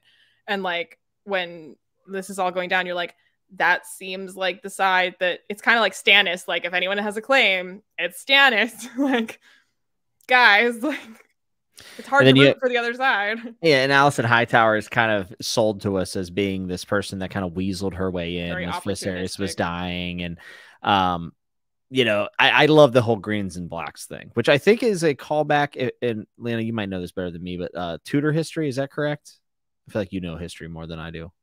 I don't know that it's spec- anything specific about greens and blacks, but I mean, like colors have always been, you know, Yeah. to signify factions. Yeah, I thought back, maybe it was even pre-Tudor. There was something uh, with colors like yellow versus red or something, and I thought George was kind of paying homage to that with greens and the blacks. But I just thought that whole thing was was really neat. And Alicent Hightower and Rhaenys being at odds. Uh, that's like I think exactly where the show is going to pick up because in the trailer it seems like they're showing, um, uh, they're showing uh, uh, Viserys dying is is what it appears to be. Uh, so I think that's like right where the show is going to kick off, and then you have um, uh, Criston Cole, Sir Criston Cole, the Knight. Which do you guys remember? Jaime was talking about the Kingmaker, and he was talking about Criston Cole all the way back. I think even in book two or three. Uh, I thought that was really cool to see Criston Cole because there's so much question about what role did he actually play? Was he really into Rhaenys or was she trying to get with him? Uh, and we kind of don't have any answers to be honest. But I think the show is going to have to answer it. you just, I mean, this isn't to do specifically what you just said, but like reading Fire and Blood, like I would at no point recommend that someone start with that, but at the same time, like it makes me like want to have read it before reading the main series. So like the only way, because like you, the only way that this book makes sense is if you read the series, but the only way that the like this Like or the not the only way, but like then it makes you want Um, to like you the only way you get those references is if you've read Fire and Blood before reading the series. So you have to read the series, read Fire and Blood, and then reread the series. I mean, that's kind of uh, what people say about the Silmarillion too, and that's why they call this the Gurmarillion or whatever he called it. Um, also, it was Rhaenyra, not Rhaenys. Hunter corrected me, and he's correct. My bad.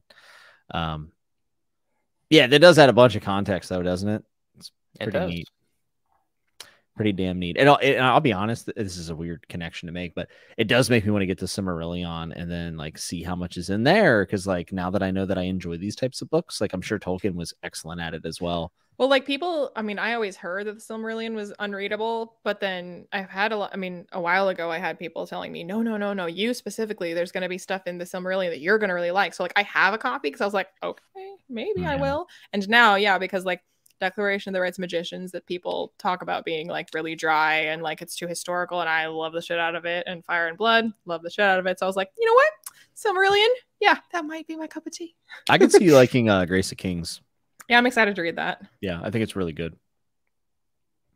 Possibly my uh, favorite book of the first quarter, actually. Nice. I mean, with Yeah. how much Hillary's hyped it, I was like, this better be good. Yeah. Kingdoms of Death yet though.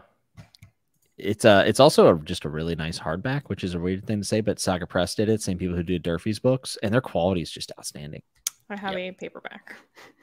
I mean, that's fine too. I wish I would have done the paperback because let me tell you what, the hardback, a book two, I ordered it a month and a half ago and it's lost. So I'm pissed.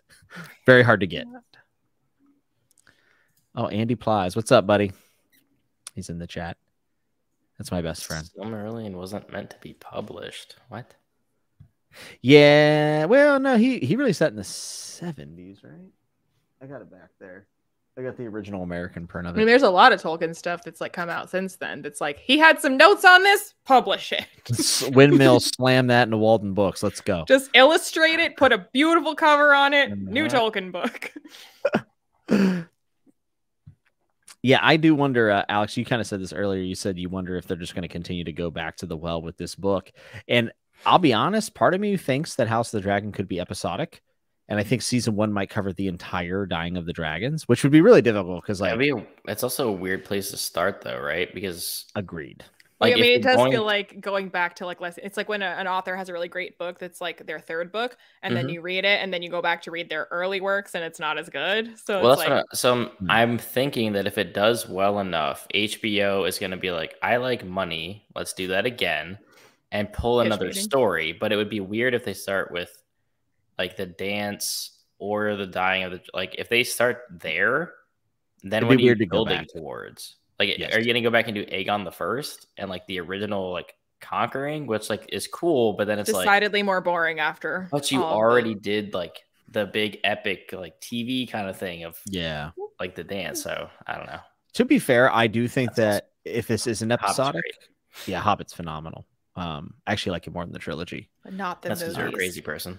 Uh, I am a crazy. You're you're But right. Not I, I, the movies. no, not the, No one's ki- no. Stop it. Except for the dwarves. The dwarves singing. I'm glad those movies happened to give us the dwarves. Jimmy's singing. gonna Listen. read Silmarillion and be like, "This is gonna actually be better than the No, there, no. are pe- there are people that think the No. Silmarillion is better. Those than... people are crazy. yeah, never, never. Would you say Um, the Fire and Blood is better than the main series of A Song of Ice and Fire? Uh, no, but it is. He's the like, I mean, maybe. Stop it. Stop. if, if I'm being honest, I think it's the one I want to reread the most right now. Like I, It's think- probably the least that you you probably got the least out of it through one reread. And you've reread the main series so many times that you know it. Like there's Yes. a lot more to go through here that you haven't done before. I don't think it's better than the main series, but I think it's the most impressive thing he's written. that's fair. Like, I think it's the most difficult. when I read George, um, there's a few authors that do this for me, but George specifically, I'm like, I wish I could even tell the stories half as good as this. Like, I wish I could come up with the names, a plot that's half as good as this, the characters. Like, there's a piece of me that like likes creating things, and it's just like really intimidating to even. Well, what you need to do is become a history nerd and then just add dragons. yeah, because that's all he did, right? I mean, it does help. no, it certainly helps. Um, part of me wishes that he would pick different times in history. I mean, he does, but I would love to see like the Bronze Age collapse played out in a fantasy world. I told that to uh, Steven Erikson, and he agreed with me. Um, but I think it would be very difficult because no one really knows what happened in the Bronze Age collapse. Like there were sea people. That's all that people really know. I don't. well, think it sounds, that- Jimmy, like that's the book that you should write. They say write what you'd want to read. Yeah, I'm too dumb. that's a, that's a problem. Intelligence is important. Uh, someone said, uh, Confidence is important. Yo, Hayden said, I'm excited for the opening theme for House of the Dragon. You're damn right. It's going to be awesome. I don't think it'll be as awesome as the Game of Thrones. It, theme nothing will ever be as awesome as that. That's the It greatest really- intro of Like all time. that I think that I'm like, I mean, Game of Thrones was good, but you know, and then I hear the theme music and I'm like, God, it was the shit. because it's So just good. so high. Like, It's so good. You can't have that awesome of a theme song and then put anything next to it. Like whatever House of the Dragon is could be really sick, but you're always just gonna want that. Ba, ba, ba, ba, ba. They I should told just you. reuse it. I told Right? Hillary It's a- that there has never in the history of ever been better theme music, like uh, show theme music than Game of Thrones, and she'd never seen the show before. So I was like, and I was like, I am not overhyping this because it's impossible to overhype this. I was like, there has literally never been better. And so then I sent her, you know, just like a YouTube that's like the, you know, the opening credits, and she was like, okay, yeah, that that was amazing. No, it's- I was like, yes, it was. The Light of the Seven is uh, one of the songs I like when I got to go to a dark place in the Oh, I gym to love push it. through. I put on Light of the Seven. It, it used to piss my wife off because when when that came out, it was on my Spotify playlist because I just I it was so cool and like I had already watched that intro to that episode so many times and she'd be playing music and all of a sudden that comes on she's like what the fuck am I listening to and I was just like don't worry about it It's get so past it good. it's fine Oh god damn! It, it the It's so beat builds. It's incredible. that's, That's not, not- unpopular uh, Popular. we like Roy for nostalgia purposes and that's about it Yeah, Roy is uh Roy's Roy, Rip Roy, but uh, except for Simon that one person in my comment section that told me I was actually just false and Roy is in fact a good narrator. Like I was just I was just wrong. He really made the work his own. I had my facts incorrect, so I apologize. He's actually just the best. You know, I I, I have an appreciation for, it, but to say that you know, I mean, Simon Vance, way Simon Vance is good. I Roy love Roy is the um, best narrator that there is for the Song of Fire and Ice. Just know two What about that? it. I, appre- I I generally appreciate Bran chapters. They're my favorite. Was it Harry Lloyd who's Viserys? Yeah, Is that the name? Because yeah, he killed it for Knight of the Seven Kingdoms. yeah. His voice just fit. Yeah. Well, and this stories. narrator like sounds like one you would want for a history book. yeah. Simon Vance has a great Vance. voice. Yeah. I uh I wouldn't mind uh Jonathan Keeble doing the narration if we ever got another a Song of Ice Fire book. He does the Warlord Chronicles by Bernard Cornwell. Mhm. And Jonathan Keeble is just like when I was listening to it, I was like, oh, this is very similar to a Song of Ice and Fire. Like this guy would murder it. He'd do I also feel good like the guy that does the um, Sun Eater narration. Oh, be good. Samuel Sam Roukin or yeah, Sam great. Roukin. Samuel Yeah. Roukin. Mhm. Oh. He's fantastic. Here, what? Share the the. Can we talk about how Fire and Blood provides a ton of evidence for maester conspiracy? So, are we talking about just the maester conspiracy of like removing magic from the world? Yeah, removing magic from the world, possibly having something to do with um, the fact that uh, dragons died out. I mean, Mhm. it, it definitely seems like they have a hand in it. They do not speak of dragons and the Targaryens very favorably, as we see. Um, in fact, Mushroom's a little bit more complimentary of the Targaryens than anybody.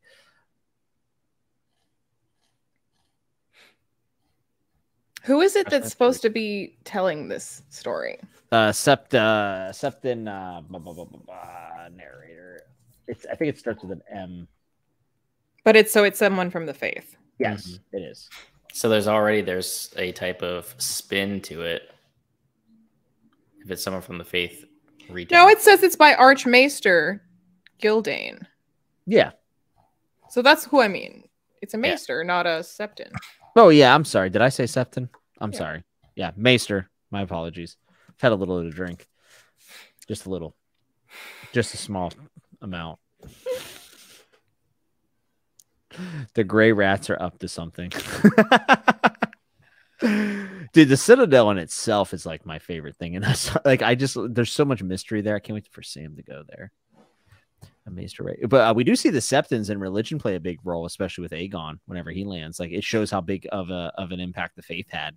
And which Yeah. again, like it's an I mean, I've said this so many times about George's writing where like it's uh you can see what parts of like religious history he's drawing on, but it also doesn't feel like, oh, okay, so that's the Catholic Church. It's literally just that. Like it has enough nuances of its own where it feels like authentic, unique world building while still being familiar in terms of the type of political situation that you end up with when you have Mhm. like the faith versus the crown.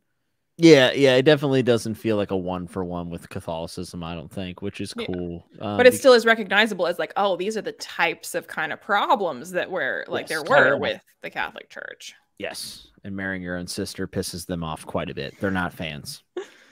yeah well i mean Not henry viii like he didn't want to marry his sister but it was over marriage that he broke with the catholic church which is uh, interesting because that that happens uh, twice in Fire and Blood.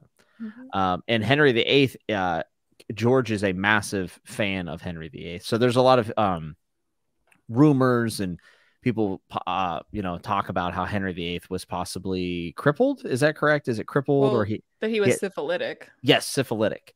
Um, and people also question like how um, sound of mind he was whenever he ruled. And I believe that George is in the camp that actually in like likes Henry VIII, if I'm not mistaken. And I think that that's why he writes a lot of his rulers similar to him. There's also a lot of um, comparisons between Henry VIII and Tyrion that people draw. Um, there's a lady, her name's Adrienne Dillard. She's a good friend of mine. She's a, a historical fiction author really really smart and she has a lot of experience with the tudor history and i've heard her talk for like two or three hours about henry viii and how it impacts tyrion in the series. It's fascinating. If you like history it's just i'd love to i, I should bring her on at some point and talk to her because she knows so much notably more. tyrion does not have six wives. Yet. Yet. Yet. Yeah. and tyrion's the youngest um which uh i mean as a as a similarity because like henry viii was not bra- he was not raised to be king. Like he was the spare and it's Right. because his older brother died that he took his older like brother's Ned Stark. wife sounds like ned stark yeah, honestly, it? Ned Stark is a lot. I mean, I'm, I believe you that Tyrion is inspired by him, but like Ned Stark's situation where like he marries Catelyn because his Yes. older brother was supposed to marry. That's exactly what happens to yeah. Henry VIII. Well, I, sh- I I should be more clear. There's pieces of Henry that are Tyrion very direct, but like he- Henry VIII is all over the story. Because Ned, I mean, Ned's a one for one with that, right? Mhm. But honestly, like the the character, the way he's portrayed, um, like just like you know demeanor and attitude that most reminds me of Henry VIII is Robert Baratheon. Yeah, He's which is the ruler at the time, right? Yeah. And like his disdain towards his like lady wife and the way he likes he'd rather just drink and have a good time. And like he's not really like he never really planned to be king. Like he wasn't exactly like no one raised him with that in mind. No one knew this would happen. And for different reasons because like Henry is royal um Yep. there was a rebellion that put Robert on the throne but same thing where like Henry VIII was like he was just like a party boy like he wasn't supposed to be king and he would Mhm. rather just have a good time with his buddies than rule a wanted to bro out. country Sometimes you just want to bro out, dude. Oh, yeah. Yeah. Deria uh, also had something nice to say in chat uh, that I think is true. She says, in true Groom style, he introduced how important the Hightowers are before I think we see them in A Song of Ice and Fire. Yes, with Euron coming down uh, to Oldtown and Sam being there, I think the Hightowers are about to be very relevant in the main series. Um, yeah Maegor Yeah. keep trying to have a kid it was exactly Henry VIII yep. And he Yeah. keeps blaming all the wives. It's your fault. It's your fault. None of them are giving me children. You're like, Mhm. maybe it's you, Henry. I mean, Maegor. hey, hey, hey. We don't blame the guy now. Come on. no, never. Never. Um, It So does do get you- awkward though when you marry someone whose fertility was proved, and then you're like, well, I better not marry her because then like people would be like, well, then it's definitely me. yikes yikes the, the pipes are busted um when you guys were reading this uh, i mean i kept thinking about how it would impact the main series like going forward because he did decide to publish this book before winds of Mhm. winter which you know i'm sure part of it was the fact that he needed to get a book out or something but uh, i do think that he definitely put information in here that's going to matter for instance the dragon not going beyond the wall Mhm. but what I kind of took from this is that like the Targaryen dynasty has always been fighting itself to stay existent. Yeah. And I think more than ever, I believe that the main series is really about the last, uh, the dying out of the last Targaryens, being Jon and and Dany. And Wait, but I'm- Jon's a snow. oh oh yeah, you're right. My bad. My bad. Okay, you've been drinking, Jimmy. Yeah, I'm getting I'm getting my lore mixed up. I think Uh, Tyrion is the Targaryen you're thinking of. Well, and, but to be honest, though, I do think that like even if Jon is a Targaryen, which I I think we all agree that he is, Yeah. um, I It makes too much sense. it makes way too much sense. And honestly, the series would be worse if he wasn't. Yeah, but also Um, younger. I guess I mean, there would have to be something Man, younger. equally equally impressive that we haven't seen coming that would fit and be like, wow, how did I not see that coming? That checks all the boxes. We you had us thinking he was a Targaryen, but it's actually this, which makes so much, you know, like it would have to be something. Yeah, there, there's some cool stuff out there, but it's not like R R plus L equals J without a doubt. Um, and now I think Jorah's a Targaryen. Jorah, everyone's a Targaryen, dude. Grey Worm, bro. He's Valyrian. Well, if it's gonna, Uh. maybe it'll be one of those Harry Potter Fantastic Beast switcheroos where they're Oh, like, okay, so No, there was not. a baby with R plus L, but then that baby got switched, and so then like there was a baby, You're but stressing then me out. Jon is actually a different Stop. baby You're that got stressing me out. swapped. So You know the problem is if you talk for 20 minutes and you make a couple graphics on YouTube, I'll believe you. I know. Do a TikTok on it and go viral. I'll go, you know what, guys? I'm starting to think that maybe we need to reread. And That's how conspiracies work, Jim. That's- I just need a fancy YouTube video. You can't prove me wrong. You can't Hey, prove You me get a wrong. British accent, it's a context. And you make it fit your narrative. You That's- said do it with a British accent. works. There's a really, really old stand-up from John Oliver where he's like, you know, you might have noticed that I will that I'm speaking with a British accent. So just uh the words you'll be hearing tonight will be presented to you with more authority than you're used to. That's so true. Uh, but yeah, I, I kind of took from this uh this read through. I was just like, you know, uh, what do these initials mean? Ned ver uh Ned plus Ashara equals, equals Deezer. Wait, what is D? What is D actually? I I, I probably know, but I'm Dany. Daenerys. Yeah, I mean, get out of here. That's ridiculous. That's that's ridiculous, Vincent. How dare you? Um, but I do think that the Targaryen history is like clearly a pathway to show that, like, yes, the final crescendo of this series being a Song of Ice, Dick Bean is Jesus Christ. Uh, that a Song of Ice and Fire's final crescendo is the last dying breaths of the Targaryen dynasty. Like that's what we're reading. Or it's their resurgence. Dun dun dun dun dun dun dun dun. The reason it's not going to be a resurgence though is because GRRM already said like Dany's burning down King's Landing. Like, yeah, that's, that's gonna happen. That's gonna happen. He's not gonna, burn it down and then rebuild old Valyria. Though I do, th- that'd be sick. I'd be in for that. I do unless think unless Jon survives and actually takes the throne and is now the like new wave of the Targaryen dynasty. Except all the dragons are probably going to be dead. So Oh, well, that's because though they're gonna get turned into undead dragons, and we no, can't have that. guys, also I do have to laugh at Miss Duncan's the Talls. Uh, if I wonder if Fire and Blood Part Two, and that's all you need to to read in that statement. Is We'll come after Dream of Spring, including the Dany, Jon, and Griff story. Oh, you know that would be badass. I mean, like let's let's just pretend like wishful thinking here, right? That wouldn't that be sick though if he finishes the It would. series and then you see this recap and Fire and Blood. I mean, that would be really to see how the history would be written, I guess, and then we actually read the story. Like that would that'd be cool. Uh, wishful thinking. I mean, sure. as to why he came out with Fire and Blood before, you know, the next books, um, and you were saying might be because he wants us to know something for the next ones, maybe. Um, uh, I would guess, and I obviously have no idea. I don't know him, but I would guess that like where he's at in the series, like he has so many threads and so many things and so many corners that he's arguably written himself into, and so many things have not gone exactly the way we know he originally kind of planned them to go. He's like gone off course a bit, and so then it is like really daunting to try to like write your way back out of that and like finish Yeah. this out.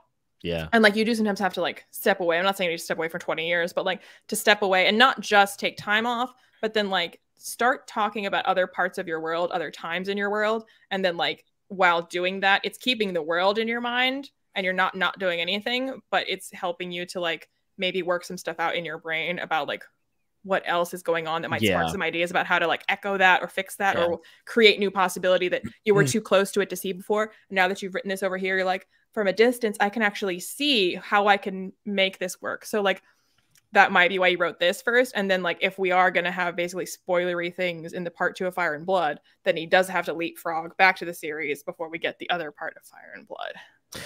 Yeah, and and one thing that I uh finished when I finished reading this, I, I know this will not be stuff anyone wants to hear, but if Fire and Blood 2 came out before Winds of Winter, I would read the hell out of it.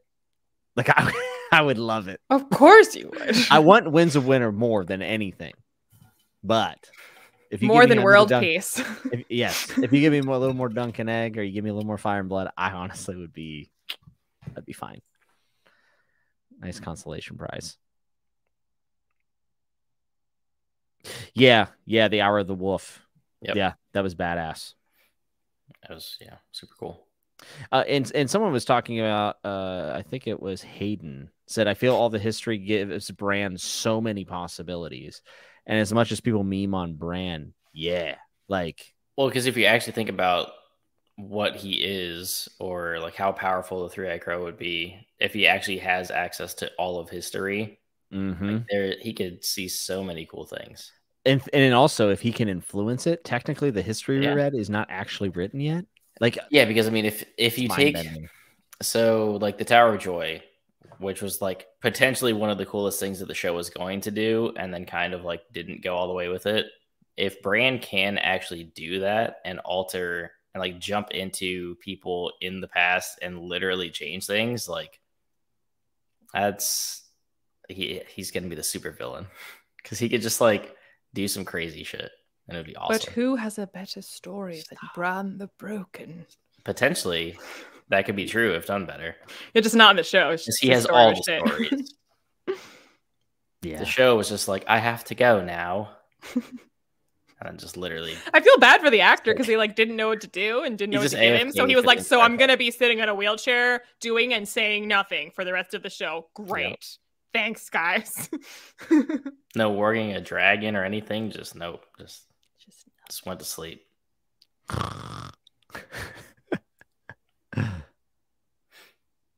No, that won't work because everyone's gonna read everything that George writes.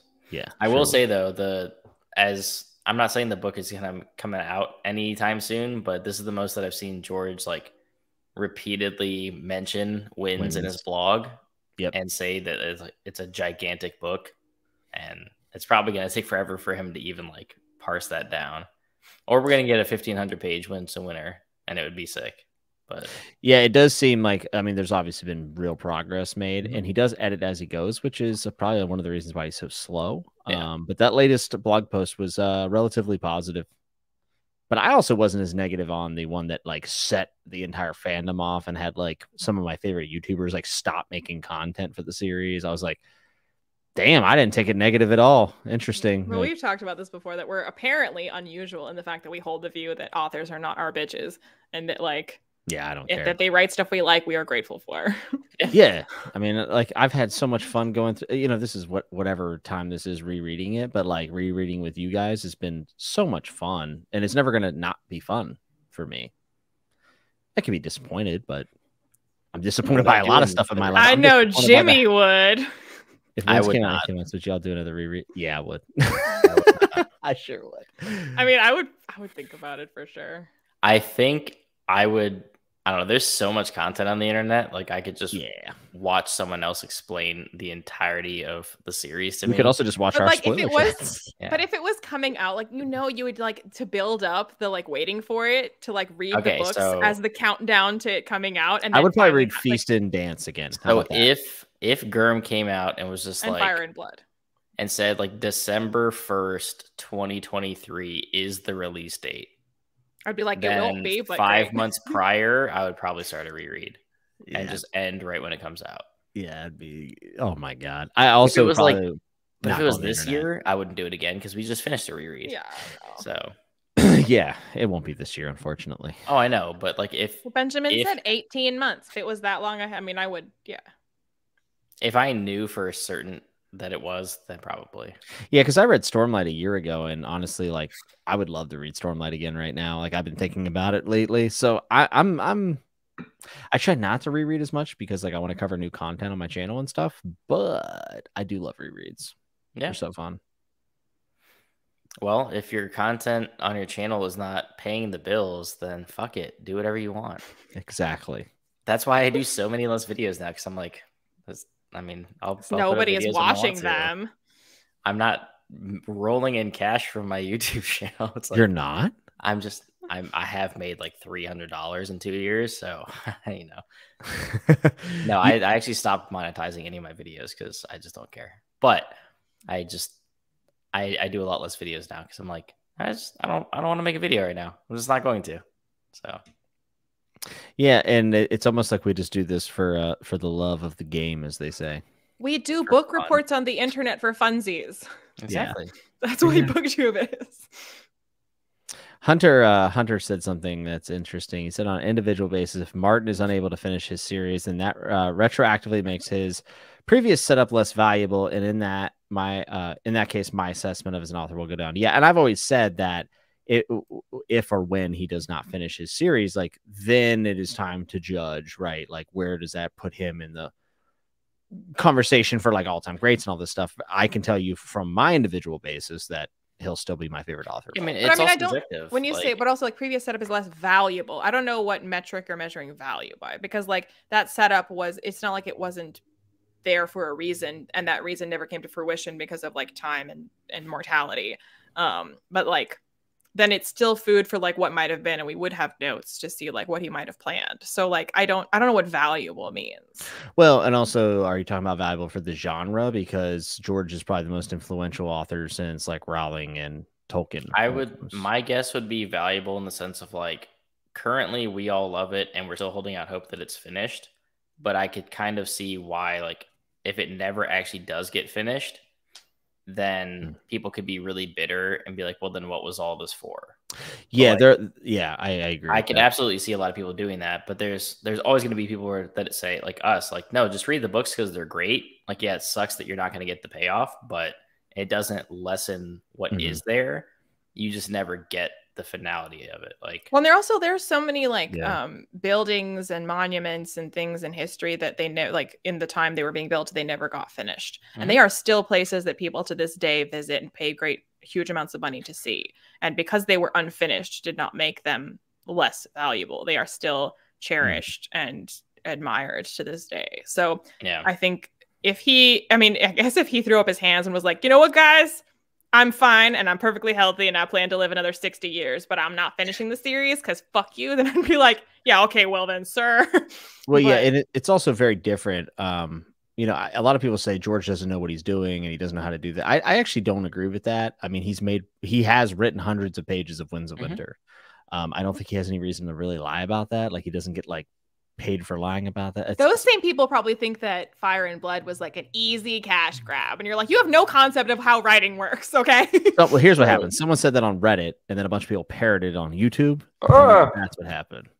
I mean, that's how internet opinions work. You just rip other people's content and you act like it's your opinion. Um, to Hunter's point, though, of like, so he's saying if he doesn't finish it because he doesn't know how, that means the setup wasn't well crafted. I see where he's coming from.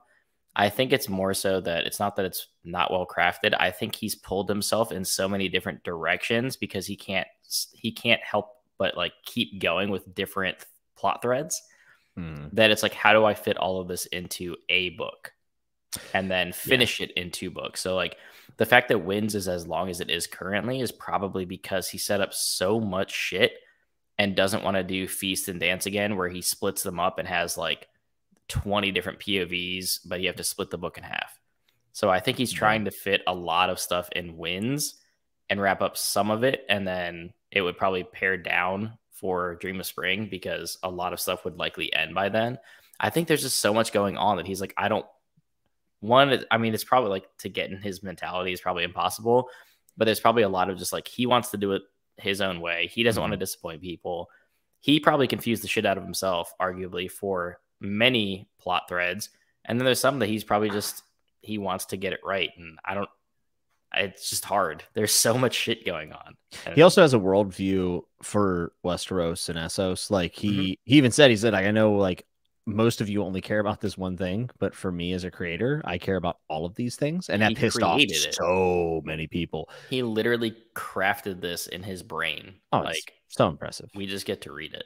Um, I and and by the way, I I mean I disagree with Hunter on a personal basis, but I do think that it's valid that he uh, has that opinion. Like I think there there will be a lot of people who set it down and say, you know, forget this doesn't have an ending. I'm not one of those people.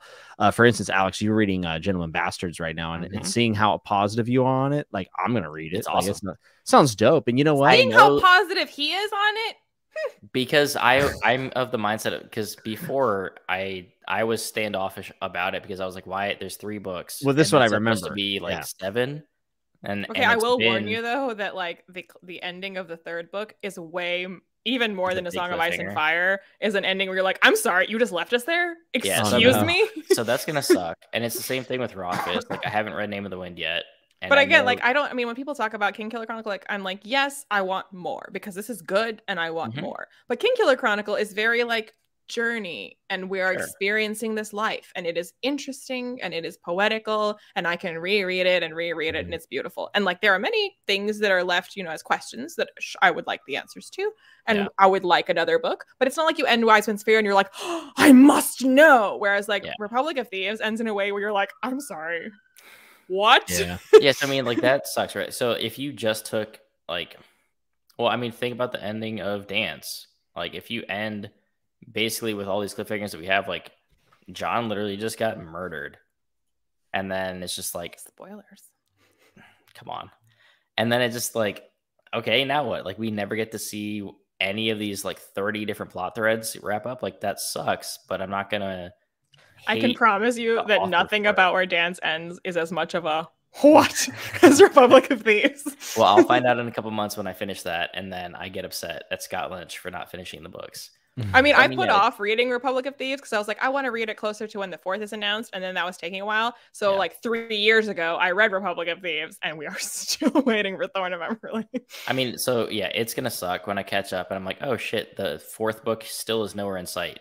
But having read Lies of Locke Lamora, I absolutely adore it, and at, like so much. I'm not gonna turn this into that chat, but like it fit a lot of what do, I because because in the book. So if you're interested in it, just read it because you're probably gonna enjoy the hell out of it for what it is, and just know that you're not gonna get the series. also, done. like At less least not so. soon. That's a good way to go. about life. Obviously not with Republic of Thieves because of like a aforementioned cliffhanger, but like Lies can kind of be read as a standalone. Like if you really didn't want it to absolutely going, like, functions as a standalone because it because at least at the start of this it's like it ends for but like it ends that story Yeah. So like it very much functions as like if you never got anything else, like that was just a really good book, and then maybe they had other adventures, and it just never got But published. Republic of Thieves. yeah, so that's different.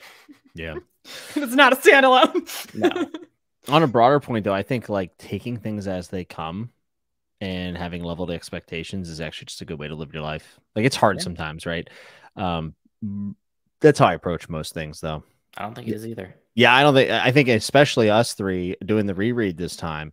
Um, We appreciated a lot of I mean, like, if we're saying bloated around. in terms of like here and there, could it have been edited down a little bit? I mean, yeah, sure. sure. All books. Especially like the like Dance with Dragons. Yes, there's probably some things that like, especially some of the more voyeuristic things that like, just like just cut that, just just cut that out, and everyone's better off. But like Yeah. overall, like it's not a book that I would say this is a bloated book. yeah, and, and a lot of the world building that he does is actually rather impressive in my uh, opinion. And I think if he's for crows, I mean, Liene, you said you didn't like it the first read through, and this time you gave it five stars. hmm And it's not like I hated it the first time. Right, right, It was more right. just like a. eh. But there's a lot of goodness in a feast for crows. I think it, it's it's the book that gets like the biggest. Uh, It's clearly one of the respect. weaker books. At least for me, it's one of the weaker ones, but like it's still a really good book. Well, to But, me, like, a Feast for Crows is kind of like the before they were hanged. Uh, and it took me an hour, almost two hours to mention First Law. So I Oh think I deserve goodness. a drink for that. But I mean, Before They Were Hanged is like the middle book of an already meandering trilogy. So like Yeah. the first time and probably the second time that I read it, I was like, mm-hmm, mm-hmm, mm-hmm. But like now that I've read it, um, doesn't matter how many times. Um, Before They Were Hanged is my favorite one because I think on like the rereadability of it is the is the best. And so like I actually- Crows, I think the reread like on a second go through, like I enjoy the hell of it. And I don't think that the first time through it's likely that anyone would feel that way. It's only when you have hindsight and you have the expectation Um, of this will be slower, like when you go in fully prepared and knowing what this will be, like it's fantastic. I actually think I liked it more than Last Argument, though, because there was, without spoiling anything, there was some like magical elements of book three that I was like, okay, this is kind of dumb. And there were certain characters that I was like, I genuinely just don't like this person, and this is not that interesting. But books one and two, I think, were better. Well, I thought like I mean most people I think Last Argument is their favorite, and it was for me just because it's the one that like after a, lo- a lot of meandering, you're like, oh, okay, so like actually this had a point, and Yeah. like these are all the answers, and oh, oh my god, those are like legit answers. This all makes so much more sense now. So like that like that last book gives you that feeling that you're like, Mhm. oh, but then like when you already know the answers on your like reread, Yeah. um, then you're like, okay, I know the answers. Like I'm not excited to learn the Yeah. answers. I know. So like the journey becomes so much more about like what you're reading for. Sure. yeah, I well, think- it, go ahead. well, I was gonna say reread is a totally different experience, right? Like it's just It a is. totally I used to be very anti reread just because I'm like, I already read it. Like, what do I care? But You're rereading I'm a book, nerd. no, but like I'm a giant hypocrite because I will replay the same video game that yeah, you will. that literally doesn't change on repeat. Like Final Fantasy. know how many mean, X. when times we were kids, Final we definitely Fantasy watched 10. the same movies over and over and over and over again. You know, it's weird. I don't like I rewatching movies. that- when you were a kid, I- you didn't rewatch movies, Mm-mm. like Disney movies. Like Nope. The only movie I rewatched religiously was Friday with Chris Tucker and Ice Cube. I love that movie never so much. that. But like I can quote all of Step Brothers and I will still laugh the Never entire way seen through that. that movie. Be- like it's like comfort food. But I think so justifiably for a lot of people, Feast is weaker and bothers people simply because A Storm of Swords is so fucking good. Yeah. And then all of a sudden you don't have half of your favorite characters in the next book. Because he wanted to explore other This other happened. places. So like this- that so I get it, but like the book is not bad. And there's still very interesting things happening. Yeah, it sucks that you don't have most of the characters that you care about. Um and if you don't like Cersei, it's not gonna it's not but I gonna love work. Jaime, and she Exactly. is. Jaime's the It is best. rather good. But then you get to Winds, or you get to Winds. Do you get to Winds? I know. you get to Dance Dragons, and it's and then all of a sudden you have a lot of characters that you like again. And Yeah, you know, this happens in Berserk as well as I'm reading through this. Uh, the eclipse is like the big moment of Berserk, and everyone talks about it. It's like the storm of swords of Berserk, Mm-hmm. right? And I continued on and I was like, oh, it's not going to be as good as after. take like, that comment off the screen. We're talking about a song of ice and fire. You don't have to leave up your Joe Abercrombie propaganda. Liene cannot help herself. I know. I mean, facts are facts, and you know, I just like promoting the truth. Fact checker Liene over here. Uh, I mean, like I, we've talked about this before, and like I literally like did a chat with Jimmy talking about these authors specifically, like where I was allowed to talk about Joe Abercrombie. where like I, I I am grateful that unlike Jimmy, whose favorite is George R. R. Martin, my favorite is Joe Abercrombie. So I'm Mhm. grateful that my favorite author writes his trilogy as, as one book. draft Yeah. and is like, I've written the whole thing and now we're publishing it in segments. Cause like that's that's very comforting to know that he finishes a project. But I also I don't think that George R. R. Martin's a worse author. It's not like he's not my favorite They're doing because two he hasn't things. finished it. yeah. I mean, So, they're also like- just completely different approaches to the same Yeah. draft. And Like- I, I don't think that saying, "Hey George, do what Abercrombie does," and like I don't care if that's not your style, do that. Like it would Mhm. be a crappy book if we Yeah. made George do that. Well, George is writing epic fantasy, like to the traditional sense, the Tolkien sense, Yeah. right? But it's And also changed so much over the years because, like, if you go back to when he first started, it was going to be a trilogy. Mhm. Like, it's expanded since then. If he sat down in 1990 and was like, "I'm going to write a seven book epic," and I'm Which, if he had read his wrote his trilogy all in one go, he would have known it wasn't a trilogy. and we also would have But- saw Jon marry Arya, and that would have been awkward. Yikes. I mean, he does like incest in this world. So. He's a big fan. it is amazing how like quickly, because I mean, partially like you already know before you pick up Fire and Blood that the Targaryens did this. Mhm. Um, so you're like already ready for that, and then like it, it's not very far into Fire and Blood that I don't know about you, but personally, like when the Faith is being like, no, you can't marry brother to sister. I'm like, why not? They're Targaryens. like, get over it. but see, the faith, the faith hates that, but there's so many like other things that they're cool with that it's just like Sounds like the faith in, behavior. in our world. I, I mean, that's well, I mean, I one is the one of the parts, and we like you talked about um Alysanne visiting the um Mole's Town. town, but Mhm. like um when I loved that part of the book, the conversation that happens after, it's not just like this is wrong and we fixed it. Like it's more like there's an actual conversation that happens about that where they're like, you're gonna piss a lot of people off. Like, we do we think it's right? No, we don't. But like, is it worth fighting over? Why did it cause a bigger problem? And the way that she's like, you know, the the faith supposedly protects, you know, women and whatever. Like, why is the faith okay with this? Like, you shouldn't be. And they're like, you're right, we shouldn't be. And like that whole conversation that happens, it isn't Mhm. like, I mean, talked about this about in first law as well, where like um now she's on a roll. She can't help it anymore. It's just gonna keep but coming. like over. when you present like i like when authors do that and we talked about it in the main series as well like when slavery comes up or things like that too where you present a situation and you don't have the protagonists show up and be like this is wrong and we fixed it and everything's fine now. Like they're presented as the complicated nested issues that they are where like we agree that having you know prima nocta is like that's no bueno but the fact that the conversation isn't like i had no idea this was going on immediately royal decree that is no more. Like they have an actual conversation about how like, like "Yay, we're better. this is a nuanced issue and like yeah i mean abercrombie does the same thing and i like that the, the main characters don't come in and are like this is wrong and we fixed it like So hold on. I first of all, let's go back to the comment that we keep ignoring of who's your favorite Targaryen uh, ruler? Jaehaerys the first. Harris is that? Is that Yeah. what I'm saying? well but it's also who's your favorite this is always the question too like who's your favorite like that you would want to be your king or who is your favorite to read about Honestly, I have a question before we do that. no It is. there is still this that exists. I mean, I'm not. I'm not opposed to this. Not I knew to it. Jimmy was like, I don't have time for Buddy reads the rest of the year, but as soon as Alex breaks out World of Ice and Fire, Jimmy's like, I mean, I could make time though, if need be. Well, a lot of it's from Fire and Blood, so there's a lot of sections you could glance over, look at the pretty pictures, and move on, which is cool. Um, I Alright, was so- surprised, pleasantly surprised by how many illustrations there are in Fire. yeah, and they're Blood. good too. Yeah, they're. But it's, I really mean, like. I would be expecting and fully satisfied with like maybe five, you know. But like, there's a lot. hmm Yeah, It's a lot better than the illustrated editions, the anniversary editions of the main If books. they were as illustrated as this, don't like, that would have been sweet. yeah. We do we do have that dope Tyrion picture though. you know what I'm talking about. Oh, I know exactly what you're talking about. Oh, god damn it. He's all man. One part of this book that I, I forgot to mention I really liked was Blood and Cheese. The, like the assassin and the like the muscle like the assassin the, or the the dirty deed doers for I'm like, da- how uh, dare anyone say this book isn't interesting and suspenseful and emotional? Because that part of it, I was like, oh my god, what are they gonna do? and he cuts Jaehaerys' head off. You're like, what the fuck? And then like literally like it's Sophie's choice when like they make the mom name a child to kill. Like that's literally Sophie's choice. Yeah.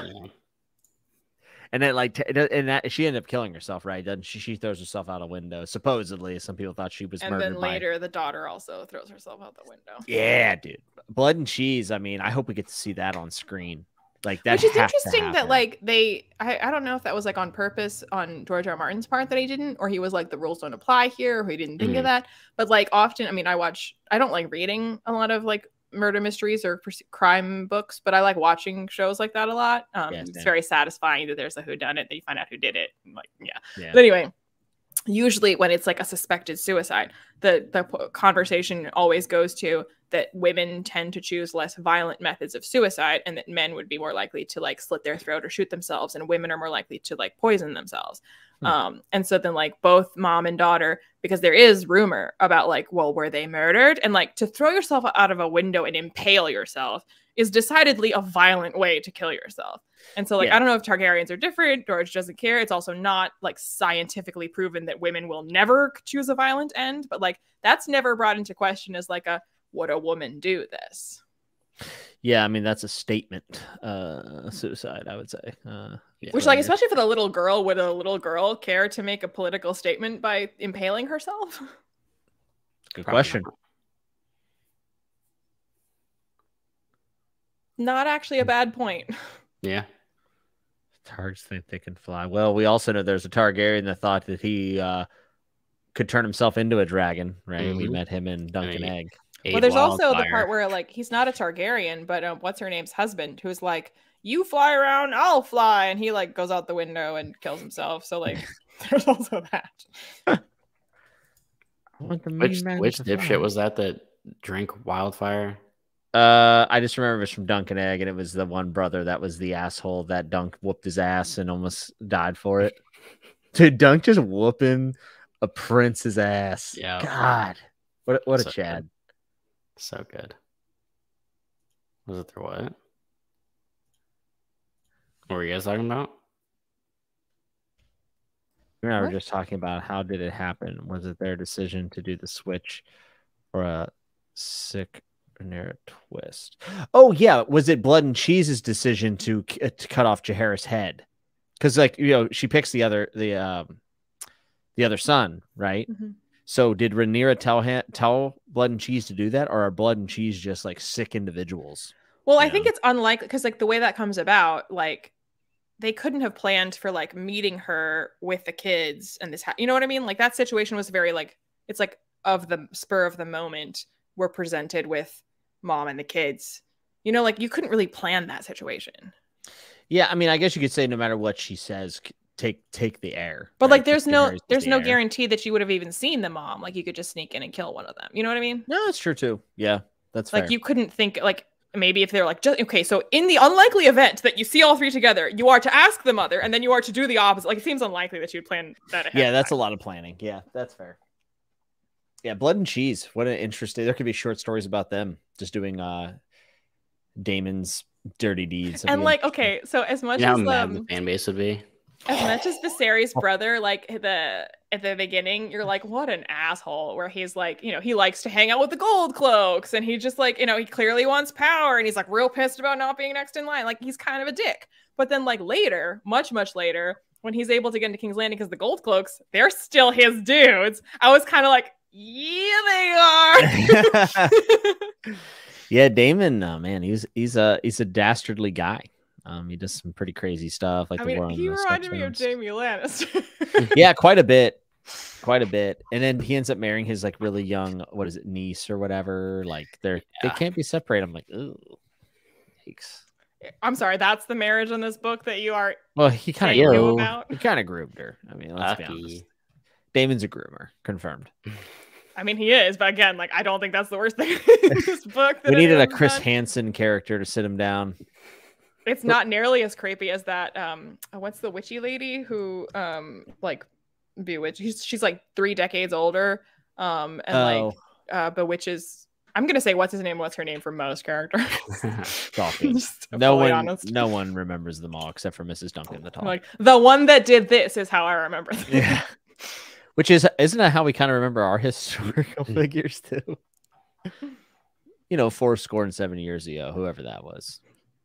I mean, especially but with European history, and you have all of the like, you have so many Henrys, and like, unless they did something real significant that you like Henry VIII, you're like, yeah, that sticks out. But all the other Henrys, you're like, yeah, I couldn't tell you about one through Shakespeare can help me remember that. Couldn't tell you about one through seven. Not a chance. like I only know Henry V because of Shakespeare. if he hadn't written such a good play about him, I'd be like, he's one of the Henrys. KJ says the Harrenhal stuff is weird, is all weird in this book. None of it is very focused, but I like it. I agree. I mean, you can see why. And Harrenhal, like we see Harren, right? Um, mm-hmm. Get his line does not see another day, and Aegon wipes him out. And it's like, man, Harrenhal does appear to be cursed. Yeah, that's why everyone says that, and that's why it's haunted and cursed. Yeah, the witch at Harrenhal and Aemond. Yep. Wasn't it Rainey's who like goes to Harrenhal and is like, I'm not op- like I'm not seeing any of my visitors. Like they're like there's people who come and they're supposed to give them like queen's rights or whatever, and like meet them for dinner. And she's like, nah, you'll get whatever I got in the cupboard, and I'm hanging out in the tower. I don't give a shit about any of you. I just thought that was the best. I'm like, that's the life I want to live. So you basically want to be Littlefinger, like on the fingers. Yeah, with none of the scheming. Like leave me all out of that. Miss me with that. I don't want any of that. Leave me on the fingers. Taking a sword through the chest for like mid Lysa Tully. Like, come on. what is uh what Rogar says to uh the one dude? It's like my daughter should marry the prince, and he's like, your your daughters have no brains and no chin. I like, did laugh at that. Did I laugh so hard at that? But also, like at the end with Aegon, um, when he wants to what what they call her, like Miss Tulip, tu- is it tu- tu- turnips? Turnips? Turnip? Miss Turnips? What do they call her? Turnip. Yeah, Miss Turnip. Yeah. Is it Miss? It's not Miss. Lady Turnips. Yeah, we'll go Lady Turnip. I think it's it's something to do with turnips because like he's trying to get his daughter to like the hand is trying to get his daughter to marry the king and everyone's like no no you can't. And he's like okay we'll have a ball and she'll be front and center. Like she'll she'll have plenty of dates with him beforehand and then he feels personally betrayed by the fact that this scheme didn't work. And you're like sir. He had no idea. Can we um can we briefly make fun of the show again and talk about how bullshit scorpion bows are in the show compared to the the one historical contextual moment that we have of Meraxes well, because they didn't have eye. Euron around. Euron is the shit. Because he was a sharpshooter. no problem. Yeah. Because Meraxes literally takes a bolt through the eye, which is the only reason that that dragon dies. Yeah. But anyway, you know they can't. Well, I feel like even in the show, pierce through like, an entire um, dragon body. Daenerys dragons mm-hmm. have like personalities and until the end, at which point they just become like beasts for plot convenience. Cannon fodder. I also would say that uh we were talking about the lost eggs earlier. One of the reasons mm-hmm. why I actually think that it is Daenerys' dragons because yep. dragons to the point where they were dying out were so small and like neutered. Mm-hmm. And Dany's dragons like They're grew tiny. yeah, like they grew vastly larger than the ones that were left at King's Landing um, a couple hundred years prior. So I definitely think the lost eggs were um, were likely the ones that Dany got. Vincent Brown said the quote for Laenor uh, Velaryon made me laugh. I don't like fish, but when it's served, I eat it. Speaking of how Laenor was not actually, you know, he wasn't interested in women per se. Mm-hmm.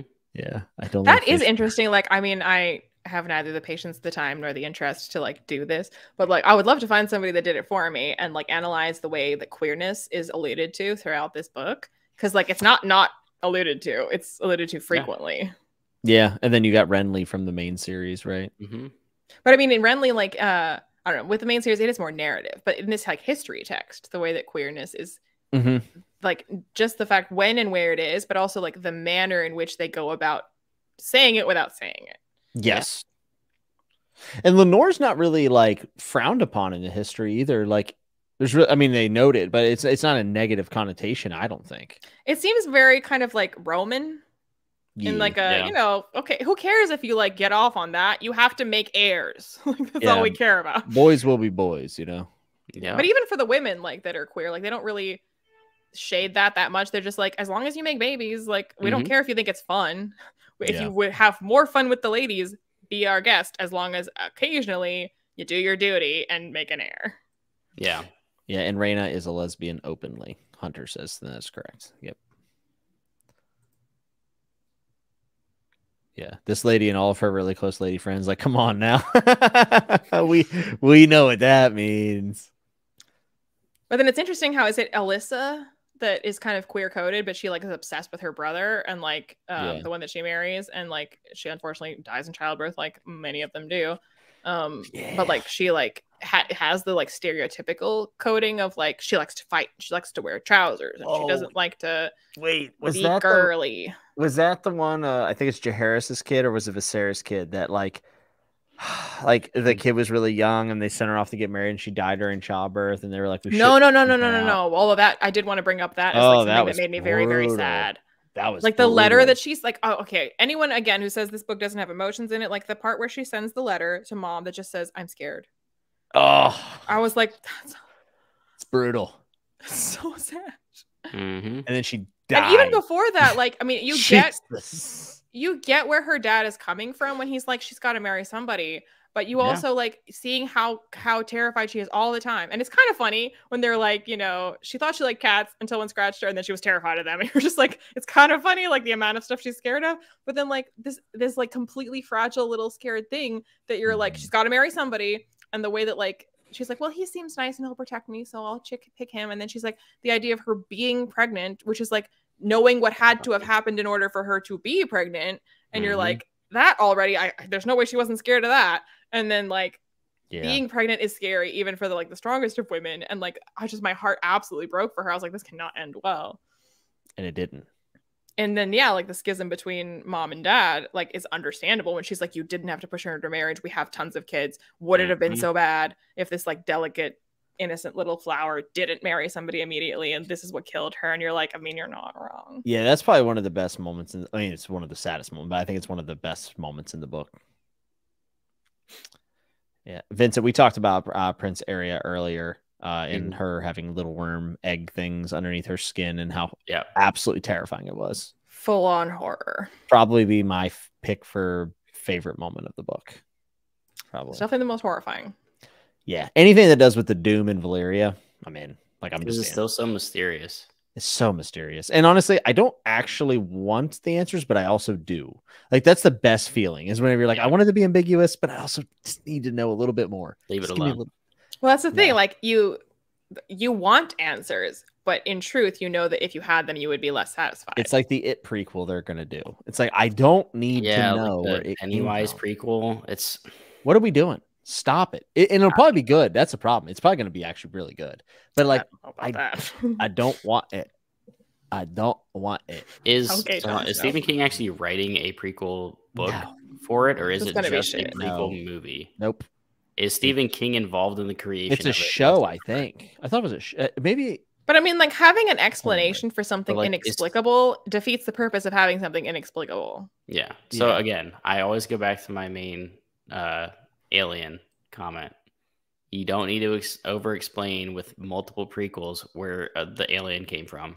It's Even a though- cool monster. I don't need to know its origins of so, like no.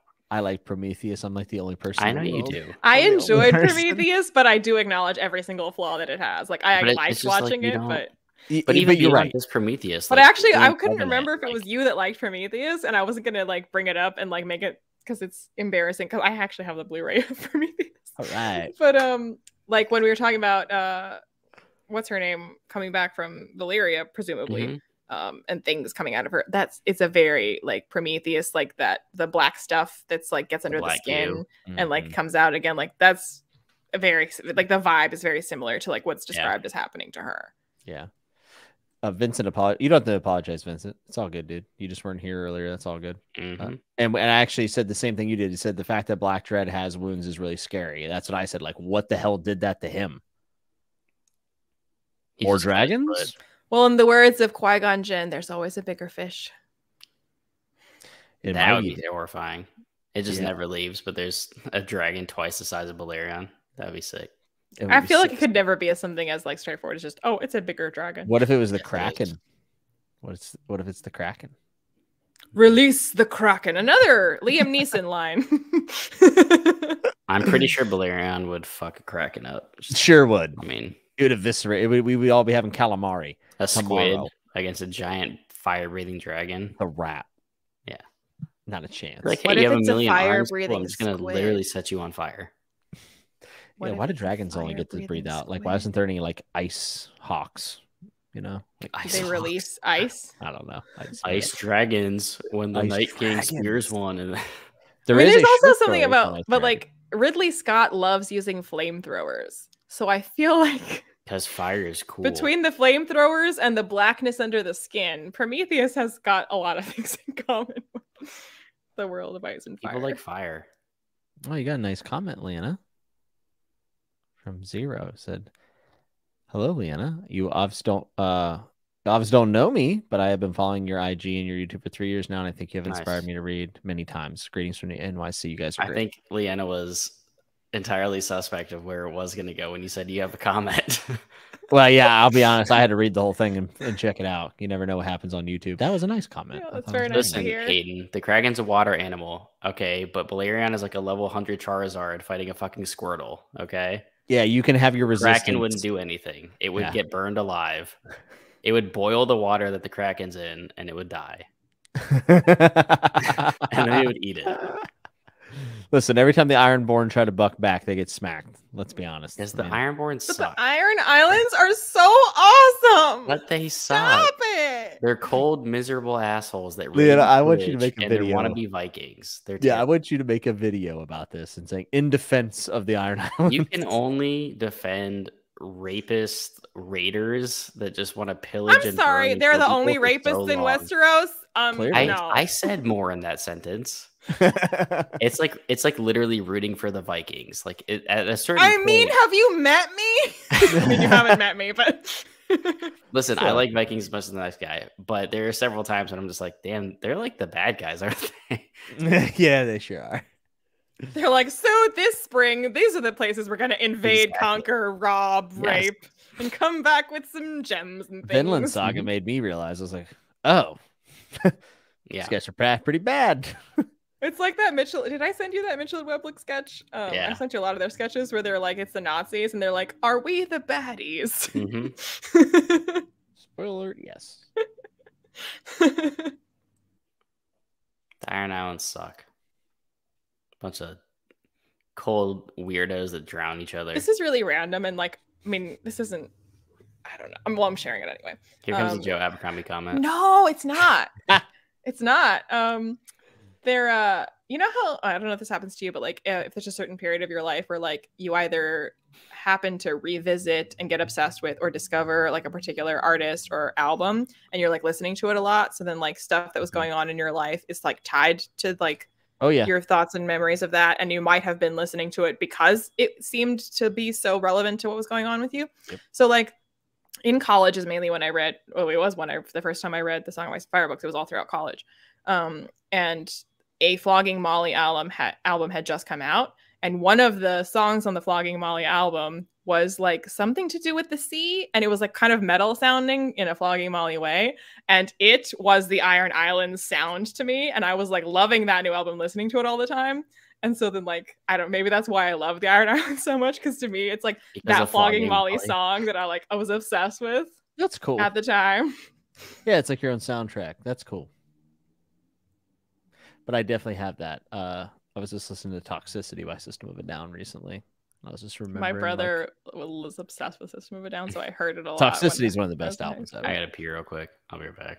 not allowed Good i do like system of a down my brother listened to it a lot more Uh, uh, the lead singer did a Rains of Castamere cover for season eight, and it's phenomenal. Although speaking of covers, I have to say when I like share on in my Insta stories like about these live shows, and like most of the time I'll like try to add music that's like from Game of Thrones to it, and the number of like uh surprise, it's a metal cover that like I click on that I'm like, oh, this is like Jenny of the Old Stones, and then I click on it and it's like Jenny, like oh, it's not Jenny. the Old Stones. Dude, that song slaps. hey, listen, everyone, you can say what you want about season eight, but we got Jenny of the Old Stones, and honestly, it was worth it. The best version of Jenny is Pod singing it. Yeah. Because that, like, I mean, I'm a sucker What a great for like episode. a cappella single Mhm. voice. Yeah. Like it's just so powerful. That's probably why I like the dwarves singing and Top It so much. How long do you think Alex would last if he got sent to the wall? Um, one day. I give it. I give it like a day. I think he could smooth talk his way into a second day. But I feel like he'd become a steward, and they would. He'd be like, "This is bullshit. Like we're doing all the work," and they would be like, "Hang him." How long do you think you would last at the wall? Me? Mhm. Oh, I'd be fine. I'd be ranging beyond the wall. I'd be Mhm. bedding wildlings. I'd be going to Molestown constantly. I mean, I Oh, would totally. be fine. What if I'd- they made you a steward though? they made me a steward? I'd hang myself. Tell us how you really feel. I would definitely be a Oh, deserter. bye, I'm a See you, Derry. Always good to see you. Lord Commander Jimmy, you're damn right. You're damn right. I would I would kick Alliser Thorne in the nuts. I'd hit him with the stone cold stunner. If he can work. I could work. Favorite minor character, easily Rogar Baratheon. Not even close. It's definitely Rogar. Of course, Corlys Velaryon's a main character in my opinion, so I can't pick him. So it's definitely Rogar. But is this question definitely about only fire and blood? Yeah, I think so. which case that is because that also could be your answer for all of the books. I mean, honestly, Rogar is that cool. I think is Robert Baratheon a minor character? Technically. I would just tell you that you know nothing all of the time. Oh, you're definitely a wildling, without a doubt. Without it, it's you even- know nothing. you know nothing, Jimmy Nuts. Doesn't have the same. Doesn't come off the tongue. Doesn't- you also- know nothing, Jimmy. yeah, you'd be a wildling, or you'd be out on the Iron Islands resuscitating people. I mean, I appreciate that you don't think I'm a whore of Molestown. No, you're not a mole. You're, no, Molestown uh, requires a certain musk. You know, it's just you got you got to be down bad. We should like honestly. That's a good question though. Who goes? Who goes? You know what? You know what? You know what it is for me. I'm going to Molestown. I mean, Craft I like daughter? the self awareness. Yeah, like Craster's daughters, maybe if they can get you know into the wall. Like, well, it's better than that old crusty dick, you know. I mean, there's honestly, like, in the world of Ice and Fire, there are worse fates I could think of than being a lady of Molestown. Yeah, you're not wrong. I mean, yeah. No, I I wouldn't say it's pleasant, but yeah. I mean, definitely better that than Craster's wife, daughters, daughter, wives. If you could live anywhere though in, in the Seven Kingdoms, where would you live? It all seems pretty awful, but Or, or would you go to like Essos? Like, are you going to be like a little more European? well, I mean, is this is the question taking into consideration the current political situation and strife? Because, like, I mean, Winterfell seems great, but also also it got burned down by the Greyjoys. No, so, no, like, no. This is just like in general. Like, if if everything's going peachy. Everything's going peachy. Um, probably Winterfell. Yeah, you like the cold? Yeah, What about Winterfell? Where would where would you live in Essos or Westeros? Dorne. Alex. Yeah, Dorne. I'm going Dorne. It's Roast. safer. People are more. So like you guys live in cold climates and I don't. So I basically live in Dorne and you guys basically live in Winterfell. So we're just If you're trading. comparing LA to Dorne, then you must live around like the nicest people that are really accepting of each other. And I mean, I like the fact that I have to. T- uh, I could have spicy food, menage a trois. I mean, Yes, they have fiery Dornish peppers were mentioned here and there. Yes, just a bit. you know what Fire and Blood is missing is the quintessential food talk conversations. There is no food mentioned. That's so true. There Diana actually would live in the uh, Iron Islands because they're so cool. Yeah, we we asked uh, the viewers. We said, "How long would Alex last at the wall?" And I said, uh, maybe a night. we s- I, I That's gave what we you two said. days. I gave you two days. I, I said said, a day. You'd I- be Hate being cold, and I hate told assholeish what to do. people. so if I was in a permanently cold place, surrounded like, by a bunch of assholes, me, one way or another, I'm I'm out of there. being cold either and having a deserting and getting fire is such a beheaded or- novelty. No, someone's killing me. Being cold and, and needing a fire is such a novelty to me. That's probably why I think that Winterfell sounds so nice. I'm like, oh, like fur cloaks and sitting by the oh, fire, No. and it's also wintry, and they have like, I don't know, it sounds Nah. great. Uh-uh. nah, it's t- nah. I'm Being good, cold man. sucks. Because I mean, I've No. lived in LA without an AC, and that's what Dorne sounds like to me. And I'm like, no, I'm good. Now, day two of winter, you're like, I'm pretty much over it at this But time. see, what I have said Yeah, for all of my holds up. life, what I've said for my whole life is like, if you're cold, you can put on a sweater. But if you're hot, there's nothing you can do. you can jump in a pool. Literally nothing. jump in a pool. The issue, But if you though- don't have a pool, all right, but so in these scenarios, Quit being poor. all you have are your furs, your stone keep that you're in. and a fire. And also Winterfell is heated like- by hot springs, like in the walls. There's also a notable lack of brothels. Which We I'm also have to be okay with. what rank are you where you're staying? Are you? I'm assuming peasant? I'm nobility. I am a Oh, you're just assuming. Of course. Okay. Sorry. Listen, I just want to be a part of House Dayne. I just want to be the sword of the morning. That's all I want, guys. Do you want to die?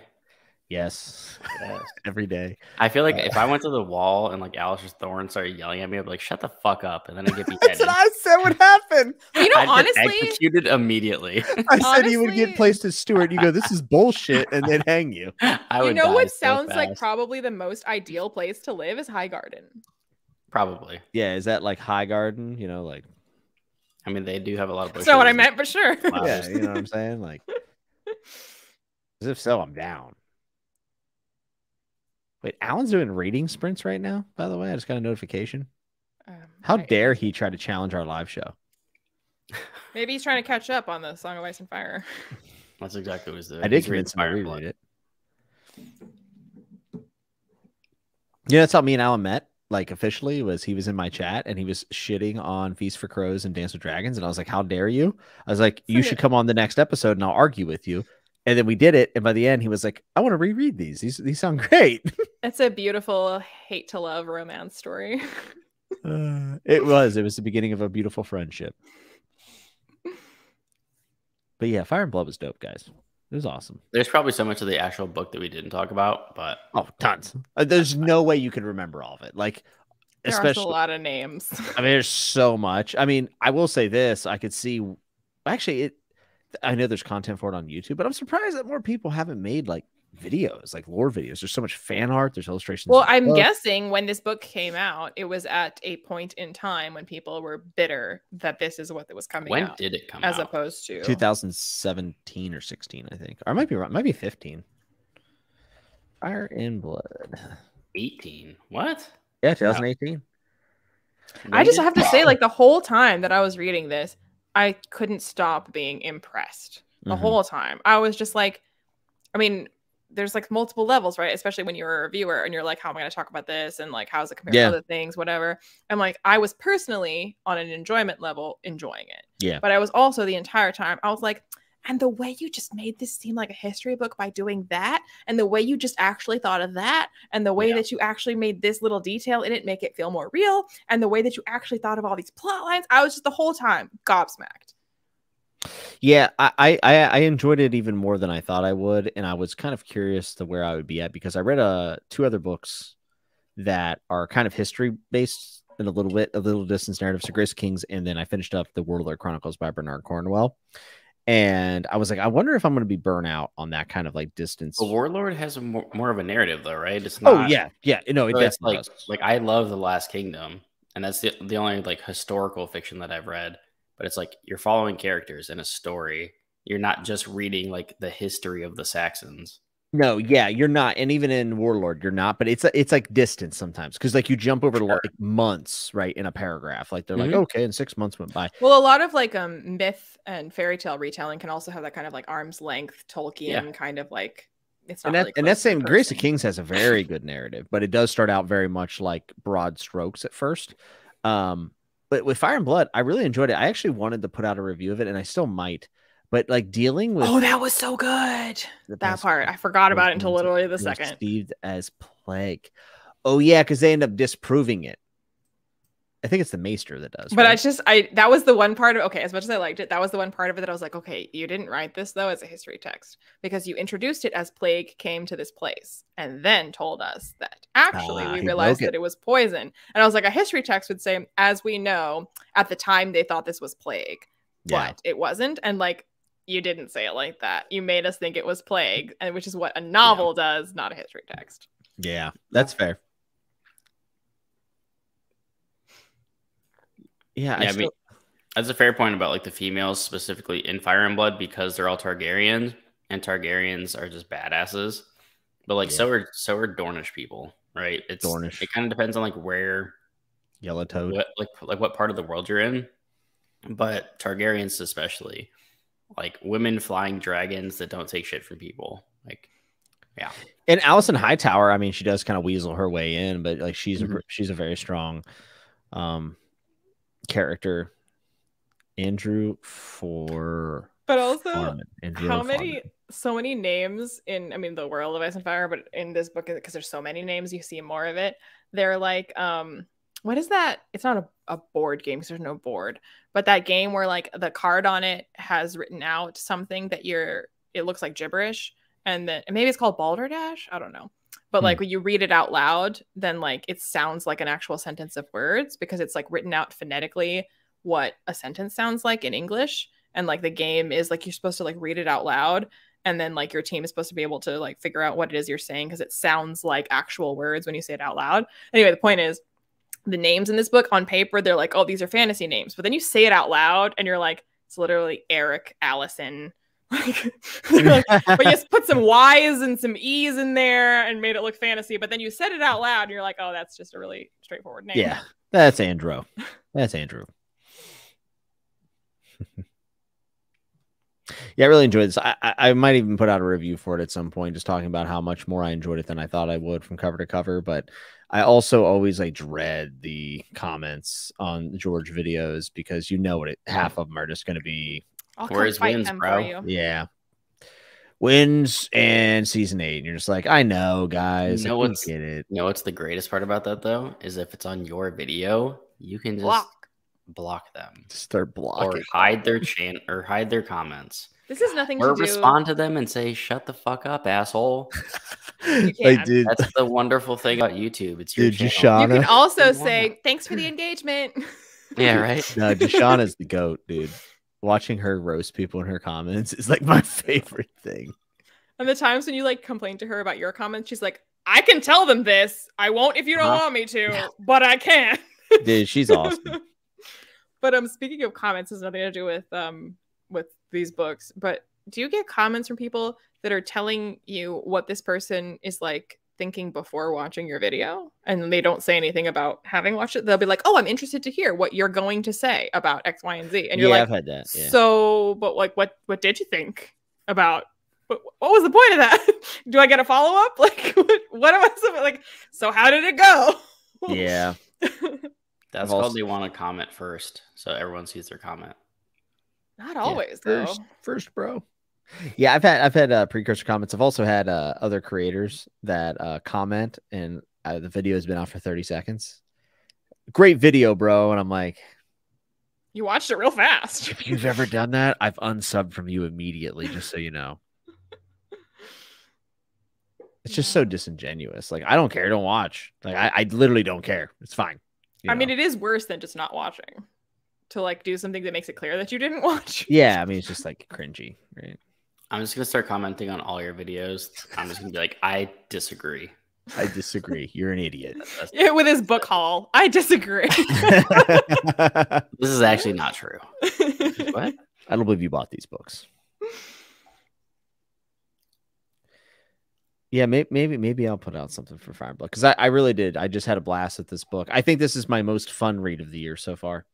Um, I mean, I low key. Okay, you, you asked before if I think it's better than the main series, and like, I don't. It's really hard to answer because like this was a re- the re- the main Yeah. series was a reread, so like it was just like either confirming my old opinions or having some new takes. But it was it's a different thing from reading for the first time, and like I definitely like this better than Dunk and Egg. Dunk and Egg was fine, but like Fire and Blood, I'm just so impressed. And like I don't know if like I would be just as impressed with with the main series if that was my first time through and I wasn't already like, oh, I know what this is going to. You know, it's kind of like um, who was I talking to about this? I don't know, but about how like if you read Peter Pan today, you read it and you're like, it feels derivative and cliche, but then you're like J.M. Barrie in a world that had never heard of Neverland, had never Mhm. heard of Peter Pan, had never heard of pixie dust, invented this stuff like Yeah. completely out of his uh, his brain and it's like so inventive if you like try to take your brain to a place where this didn't exist before that's why I felt And, about like, Dune. Yeah,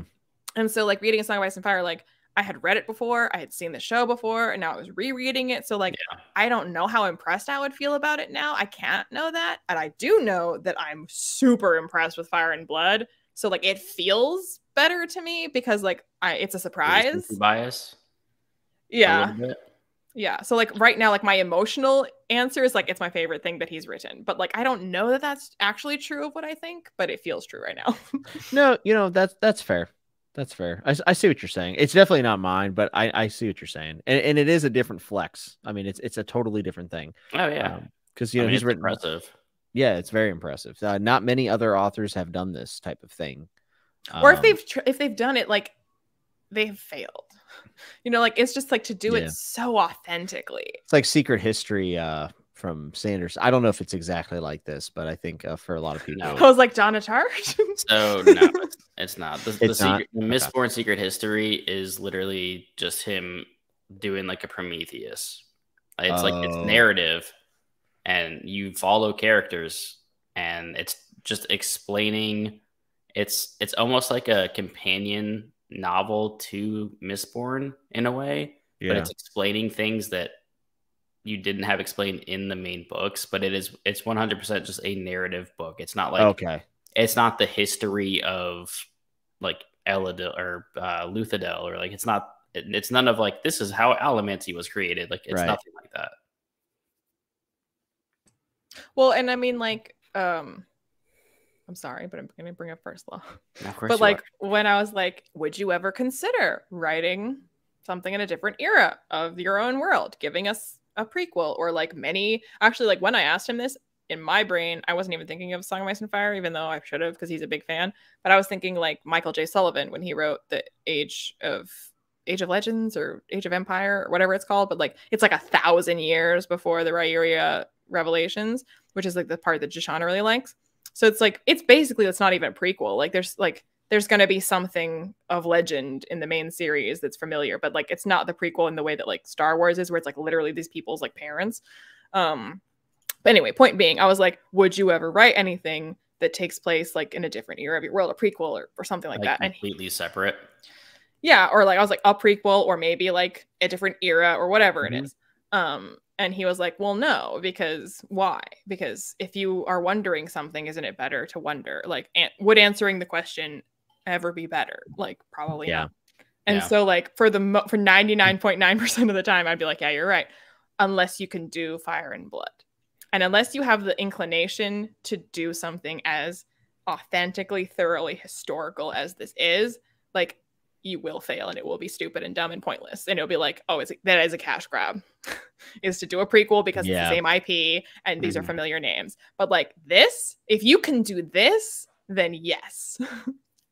yeah, it's an impressive feat. I mean, it's a risk, right? Um, and then even whenever you do it right, people will till- still uh, say it's a cash grab, which is Well, I, I think The they'd world. say it less if he had finished the main series before doing this. They probably still would have been like, oh, he just wants to like milk that now that he's oh yeah, the there's still, there, there would still be people out there. Yeah. people would be less angry about it because they'd like, well, they finished the series, so like, oh, more is always better. Well, it's a very jaded worldview. Like, I don't think anyone ever said that of Tolkien whenever he did Silmarillion, right? Like, no one. uh, But then again, his series is finished. Technically, it was finished, but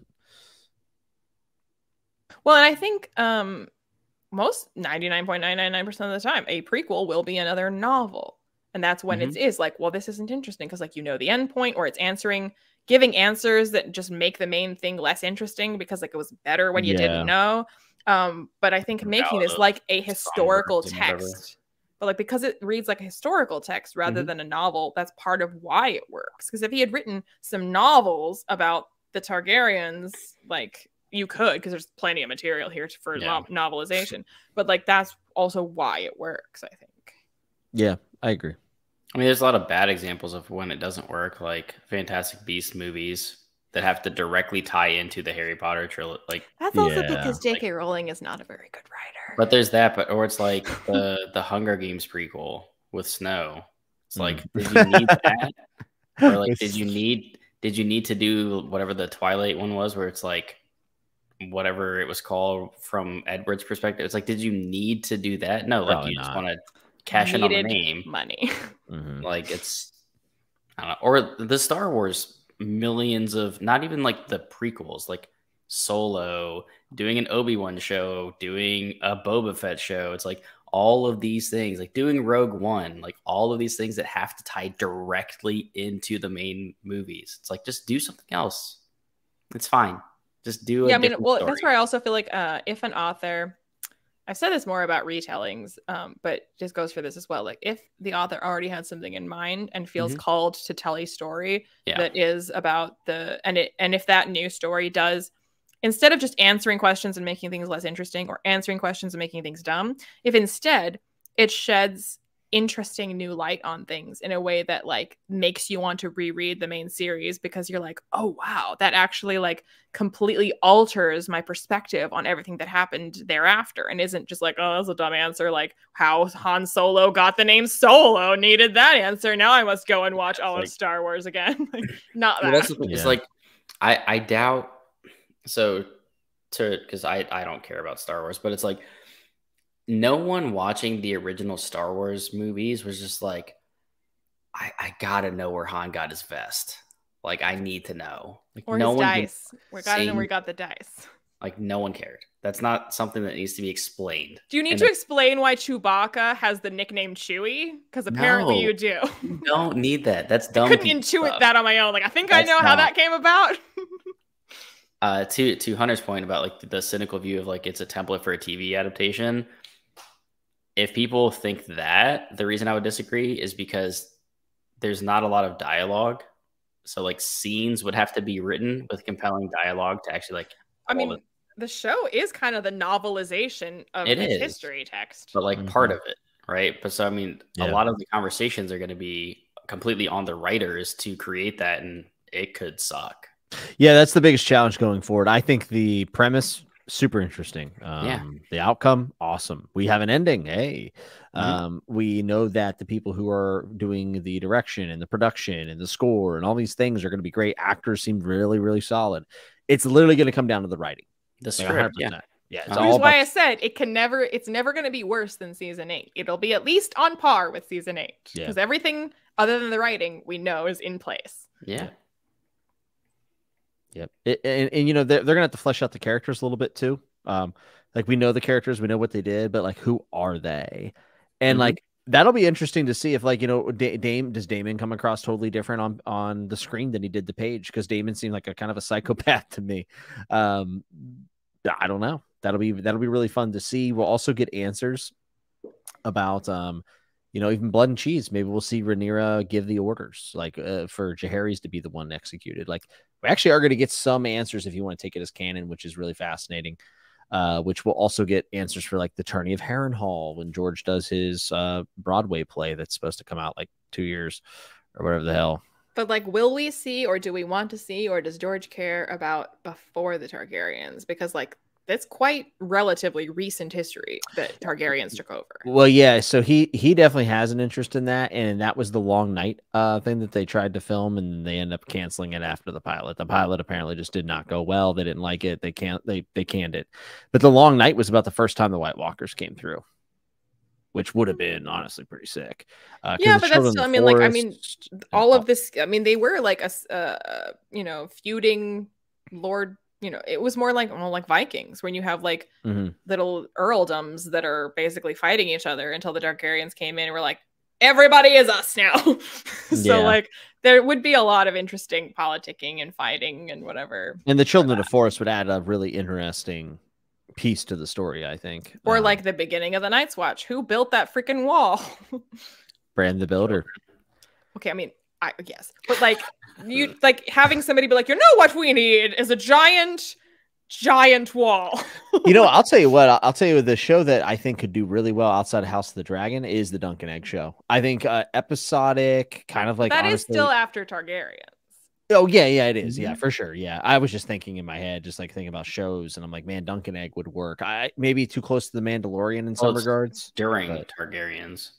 Yeah. Well, I mean, it's after the conquest of the Targaryen. Yes, it is. Yeah. Yeah. I want a conquest movie. I don't Which is interesting that like George R. R. Martin basically takes the like AC, uh, like BC and AD mm-hmm. that we have and applies that to the Targaryens. Yeah. Before conquest, after conquest. Yep. Pretty cool.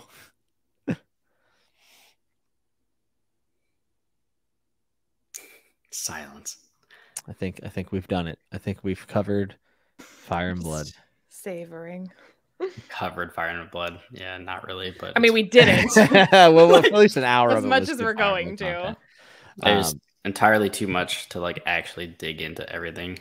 yeah, out of all Well, you literally have to do like a read a chapter It would have to be like a a week podcast. and then like Yeah, you could do a about that podcast. and that's uh, whenever we were talking about it and i would say well we could break it up in parts but honestly i think uh i think we we hit on the points that we really enjoyed what we found to be strengths of it and i think that's what people wanted um this is the book that i'd probably say is the one i'm most interested in rereading currently because Yeah. there's so i mean i'm not going to do it right now but you know this is the one that i definitely don't know the most about so i could pick up new things on a reread for sure Mhm. There's also just like you're much more likely to have missed something because if you Oh, miss a sentence, you've missed 10 years of without history. a doubt without a doubt Well, that's why somebody somebody in my Discord was just like, uh, he said, "I'm impressed that you managed to get through all of the book in a week. There's so much information in there." And I was like, "Yeah, I, I didn't retain all of it though. Like, there's Nah. no way I know everything that happened in this book. i forget about books Trust that i read two weeks ago So do I. It sucks. But that's why it does also feel like reading a history book, which is why like I would often feel stressed about like actually passing a test because I'd be like, oh, I Oh, mean, yeah. as I was reading it, I was getting it, but if you expecting me to remember the name and the date, which is what this multiple choice question will be, I would fail.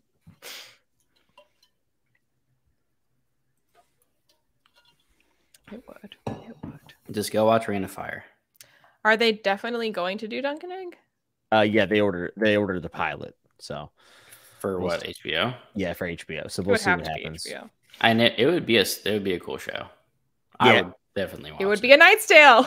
Yeah, I think I think that Absolutely. they could do a lot with it. Um, an episodic Knight's Tale. be a lot of fun. You know, since Robert Baratheon is in a Knight's Tale. I was about to say that, but then I was like, I've already said that before. so good. So yeah, when I first saw uh, Game of Thrones, I was like, that's Roland from A Knight's Tale as king. he finally made it. I mean, he like passed up the knight and shot straight for king. Uh, I actually used to love that movie, so I'm both making fun of it, but also, yes, I kind of loved it because it's still like one of the best dragon movies that's ever existed. Because most movies that have dragons in them are just dog shit. I was gonna mention this True. earlier, like when we were talking about Hobb's dragons, and like Hobb's dragons remind me of um the dragon in Dragonheart. Yeah. Now, Reign of Fire, if you have not seen it, is Christian Bale that's like learning about dragons a little bit. And you have Matthew McConaughey, who's got like a gnarly beard. He's got a bald head. He's like a marine, like dragon hunter. He wears like a dragon tooth necklace. it's just like, I'm just picturing like, have you you've seen Tropic Thunder? yes. The guy that supposedly wrote the Roy story that they're basing his, this movie off of. Like, that's what I'm Mhm. picturing. Yeah. No, that's that's Matthew McConaughey in Reign of in uh Reign of Fire. It's fantastic. And they fight dragons, and it's cool. But yeah, I mean, as much as I was saying, like, there's a most of the time books, I'm like, ooh, dragons, and then 90% of the time, like, I hate it. Same with movies. Like, most of the time, like, ooh, dragon, but most movies get it wrong. And I'm like, no, I hate this. This is stupid. Yeah, that's true. I mean, as bad as the Hobbit movies are, it did give us Benedict Cumberbatch's Smaug, which is like pretty. I mean, they're still fine. Maug. They're fine. Oh wait, we have Sherlock and Watson as Smaug and Bilbo. Which If if they weren't kind of Tolkien excellent. films, they would be great fantasy film. I don't know. not not the third one. The first one is pretty good. I don't know. I had a good time. I mean, I they're nowhere near the original. They're fine. trilogy. The But third yeah, one, the third one has watching Legolas jumping on ice that is falling, and he's jumping on it as It's it's, kid's movie. falling. yeah, it was fine. If you're a kid, you'd be loving it.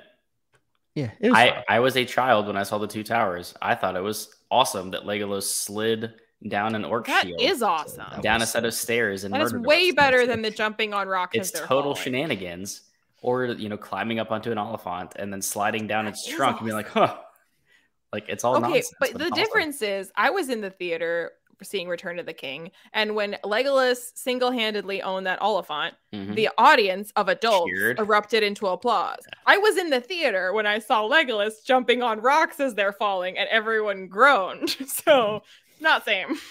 It's a very pessimistic crowd. That's We what were- happens we when you shoehorn done. in a popular character into a movie that he had nothing to do with. But anyway, Well, also Yeah. the fact that the Battle of Five Armies is like two pages of The Hobbit, but that's an entire three-hour movie. anyway. Um, yes, he is the best dragon voice. Do we want to wrap up with anything? Got any wisdom to share, Jimmy? You're the expert. Cliffhanger of if we're going to do a World of Ice and Fire or not? Or a different uh. Empire of the Vampire. You just straight up said it. She, she just she said it. She she she let the cat out the bag. I mean, That's out of the bag now. I think the cat's been out of the bag. yeah. Um. Everyone forgot. I mean, this has been a lot of fun. This is. uh, I mean, we could probably do the World of Ice and Fire, but um, I don't know when. I don't. Know when I It's up do to it. you, Jimmy. Um, this was great. This was a lot of fun. Um, I want to do it again soon. So as soon as we get Winds of Winter, we have to do this all over again. Yeah, I mean, at that point, I just think we will Fire here. So channel. we can agree to that. Is that if and when Winds gets a release date, we'll do this again, and we'll go back through the books again. I'm down. I'm down. I'm definitely down. Do we have to like sign in blood somewhere? Or... Yes. I'll tell you what. This is a good. Liene, do we get the Winds of Winter? Yes or no? Do we get it ever? Yes. Yes. Yes. Okay. You but I agree. Yeah. we I've will al- get Winds. If We you will are going to ask about Dreams of Spring, less I'm we less will not get a Dream of Spring. We Right. might get another Dunk and Egg. We will not get Fire and Blood Part Two. No, I agree. I agree with all that. I I uh, I think by November 2025 we'll have Winds of Winter. That's my prediction. You said end of 2025? November 2025. Look at the next comment. This is just Liene's favorite thing in the world. So let's do first law next.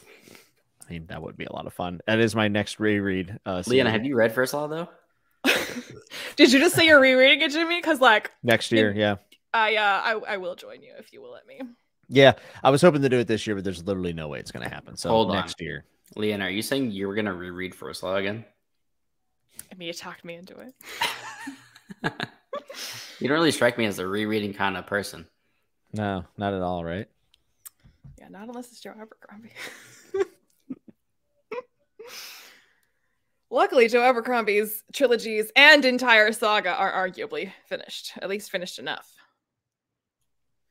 Hunter said, uh, "Guys, this series of Song of Ice Fire live chats was great. I usually don't watch stuff like this. Well, uh, I'm glad you enjoyed it. We wanted to, yeah, we wanted to do it because like we still like love the books. You know, there, there's a lot of uh stuff that's polarizing around the series, but at the end of the day, I think what's published is uh really great and still some of the best fantasy and and fiction that that, that we have. So, um, and also after the show, like it was really good to go back and be like, okay, but what was actually in the books? Because like my Yeah. brain is very muddied with especially books four and five. I mean, especially books four and five. Um, and the fact that we had some people doing their first rereads with us, or first reads, I should Yeah. say, um, that's awesome. That's awesome. I think it stuck out to me immediately when I started reading a Game of Thrones, and I was just like, there is way more in this book one. Yeah. I remember being in it that I thought was like because it was stuff that would happen like later in the show. I was like, that happened in the Game of Thrones? What? It's pretty crazy. Yeah. I uh, I wouldn't be here. I wouldn't be on booktube. I wouldn't be reading all these books that I've read um, if if not for Song of Ice and Fire. So I'm personally indebted to uh, George. and we wouldn't have first law without Song of Sure. Ice and Fire. That is true. So I'm personally indebted to George. Oh, there's Tyrion. some fanfic for you right there. Tyrion. Oh, that's a tough one. Yeah, I think it's mm, I don't know. that's that's a hard one. It depends on if they're drunk. Honestly, the Winds of Winter will tell us a lot because Tyrion won't have all of his money and his status. He's working his way back up. So if yeah, a lot of his wit is based on I good. have money. yeah.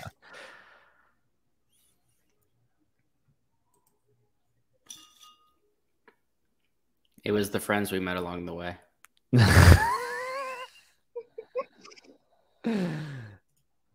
yeah, I think the Valonqar prophecy will probably be uh, Tyrion. By the way, That's Why my not Jaime? I think it's gonna be Tyrion.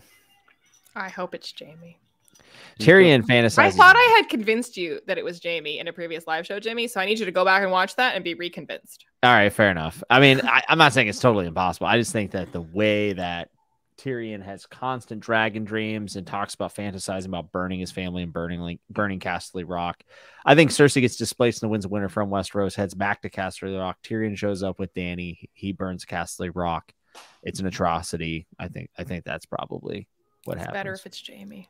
I Go back want to see. I don't remember why I what my argument was, but I remember you being impressed by it. So I, I want you to be for me, impressed by me. It's ultimately because it would be like the final, like, complete opposite end of the spectrum for Jaime to end up being the one that kills Cersei because she's so out of control that he has to, and he Out has to love. kind of like fall on his sword one last time and and take her out and not get toppled by bricks because that was just dumb. because Um, she's hateful and I'm hateful. But I or whatever the think fuck he it would said. work better thematically if it was Jaime. Tyrion feels a little bit too like obvious. I, I don't even want to say obvious, but like he already killed Tywin, and like if he's also gonna kill Cersei, I, I just I would love it for Jaime's character arc to have to be the one to take her down.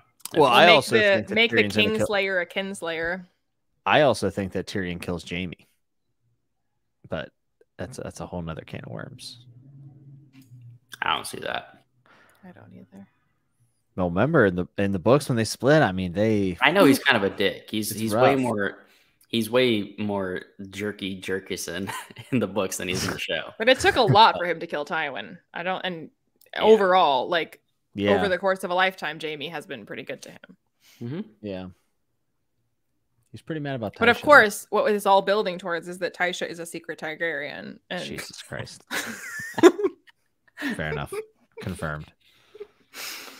Jaime could use a rope or something. That's the real reason that Tywin didn't want her him to be with Tysha because like Targaryens, you know, brother and sister, like because Tyrion we know is a secret Targaryen, and if Tysha is also a secret Targaryen, and Tywin is like none of this incest, absolutely not. So that's why he put a stop to that. Confirmed. Confirmed. Heard it here.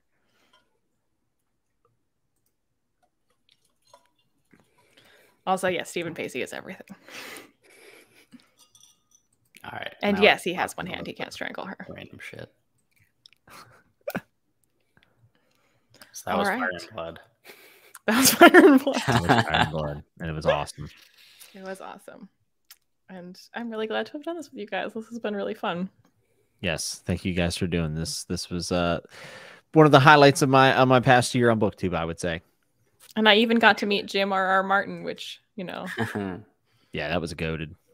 The one time. It was terrific. And I got through so much of my Song of Ice and Fire whiskey. It's like not even funny. Yeah, yeah. The many drinks were had. I've had those bottles for so long and now they're all empty. so yeah, thanks all. And we will reconvene when uh when Jimmy's ready. when Winds of Winter happens. When George is ready. Yeah. Good night. Bye, everybody.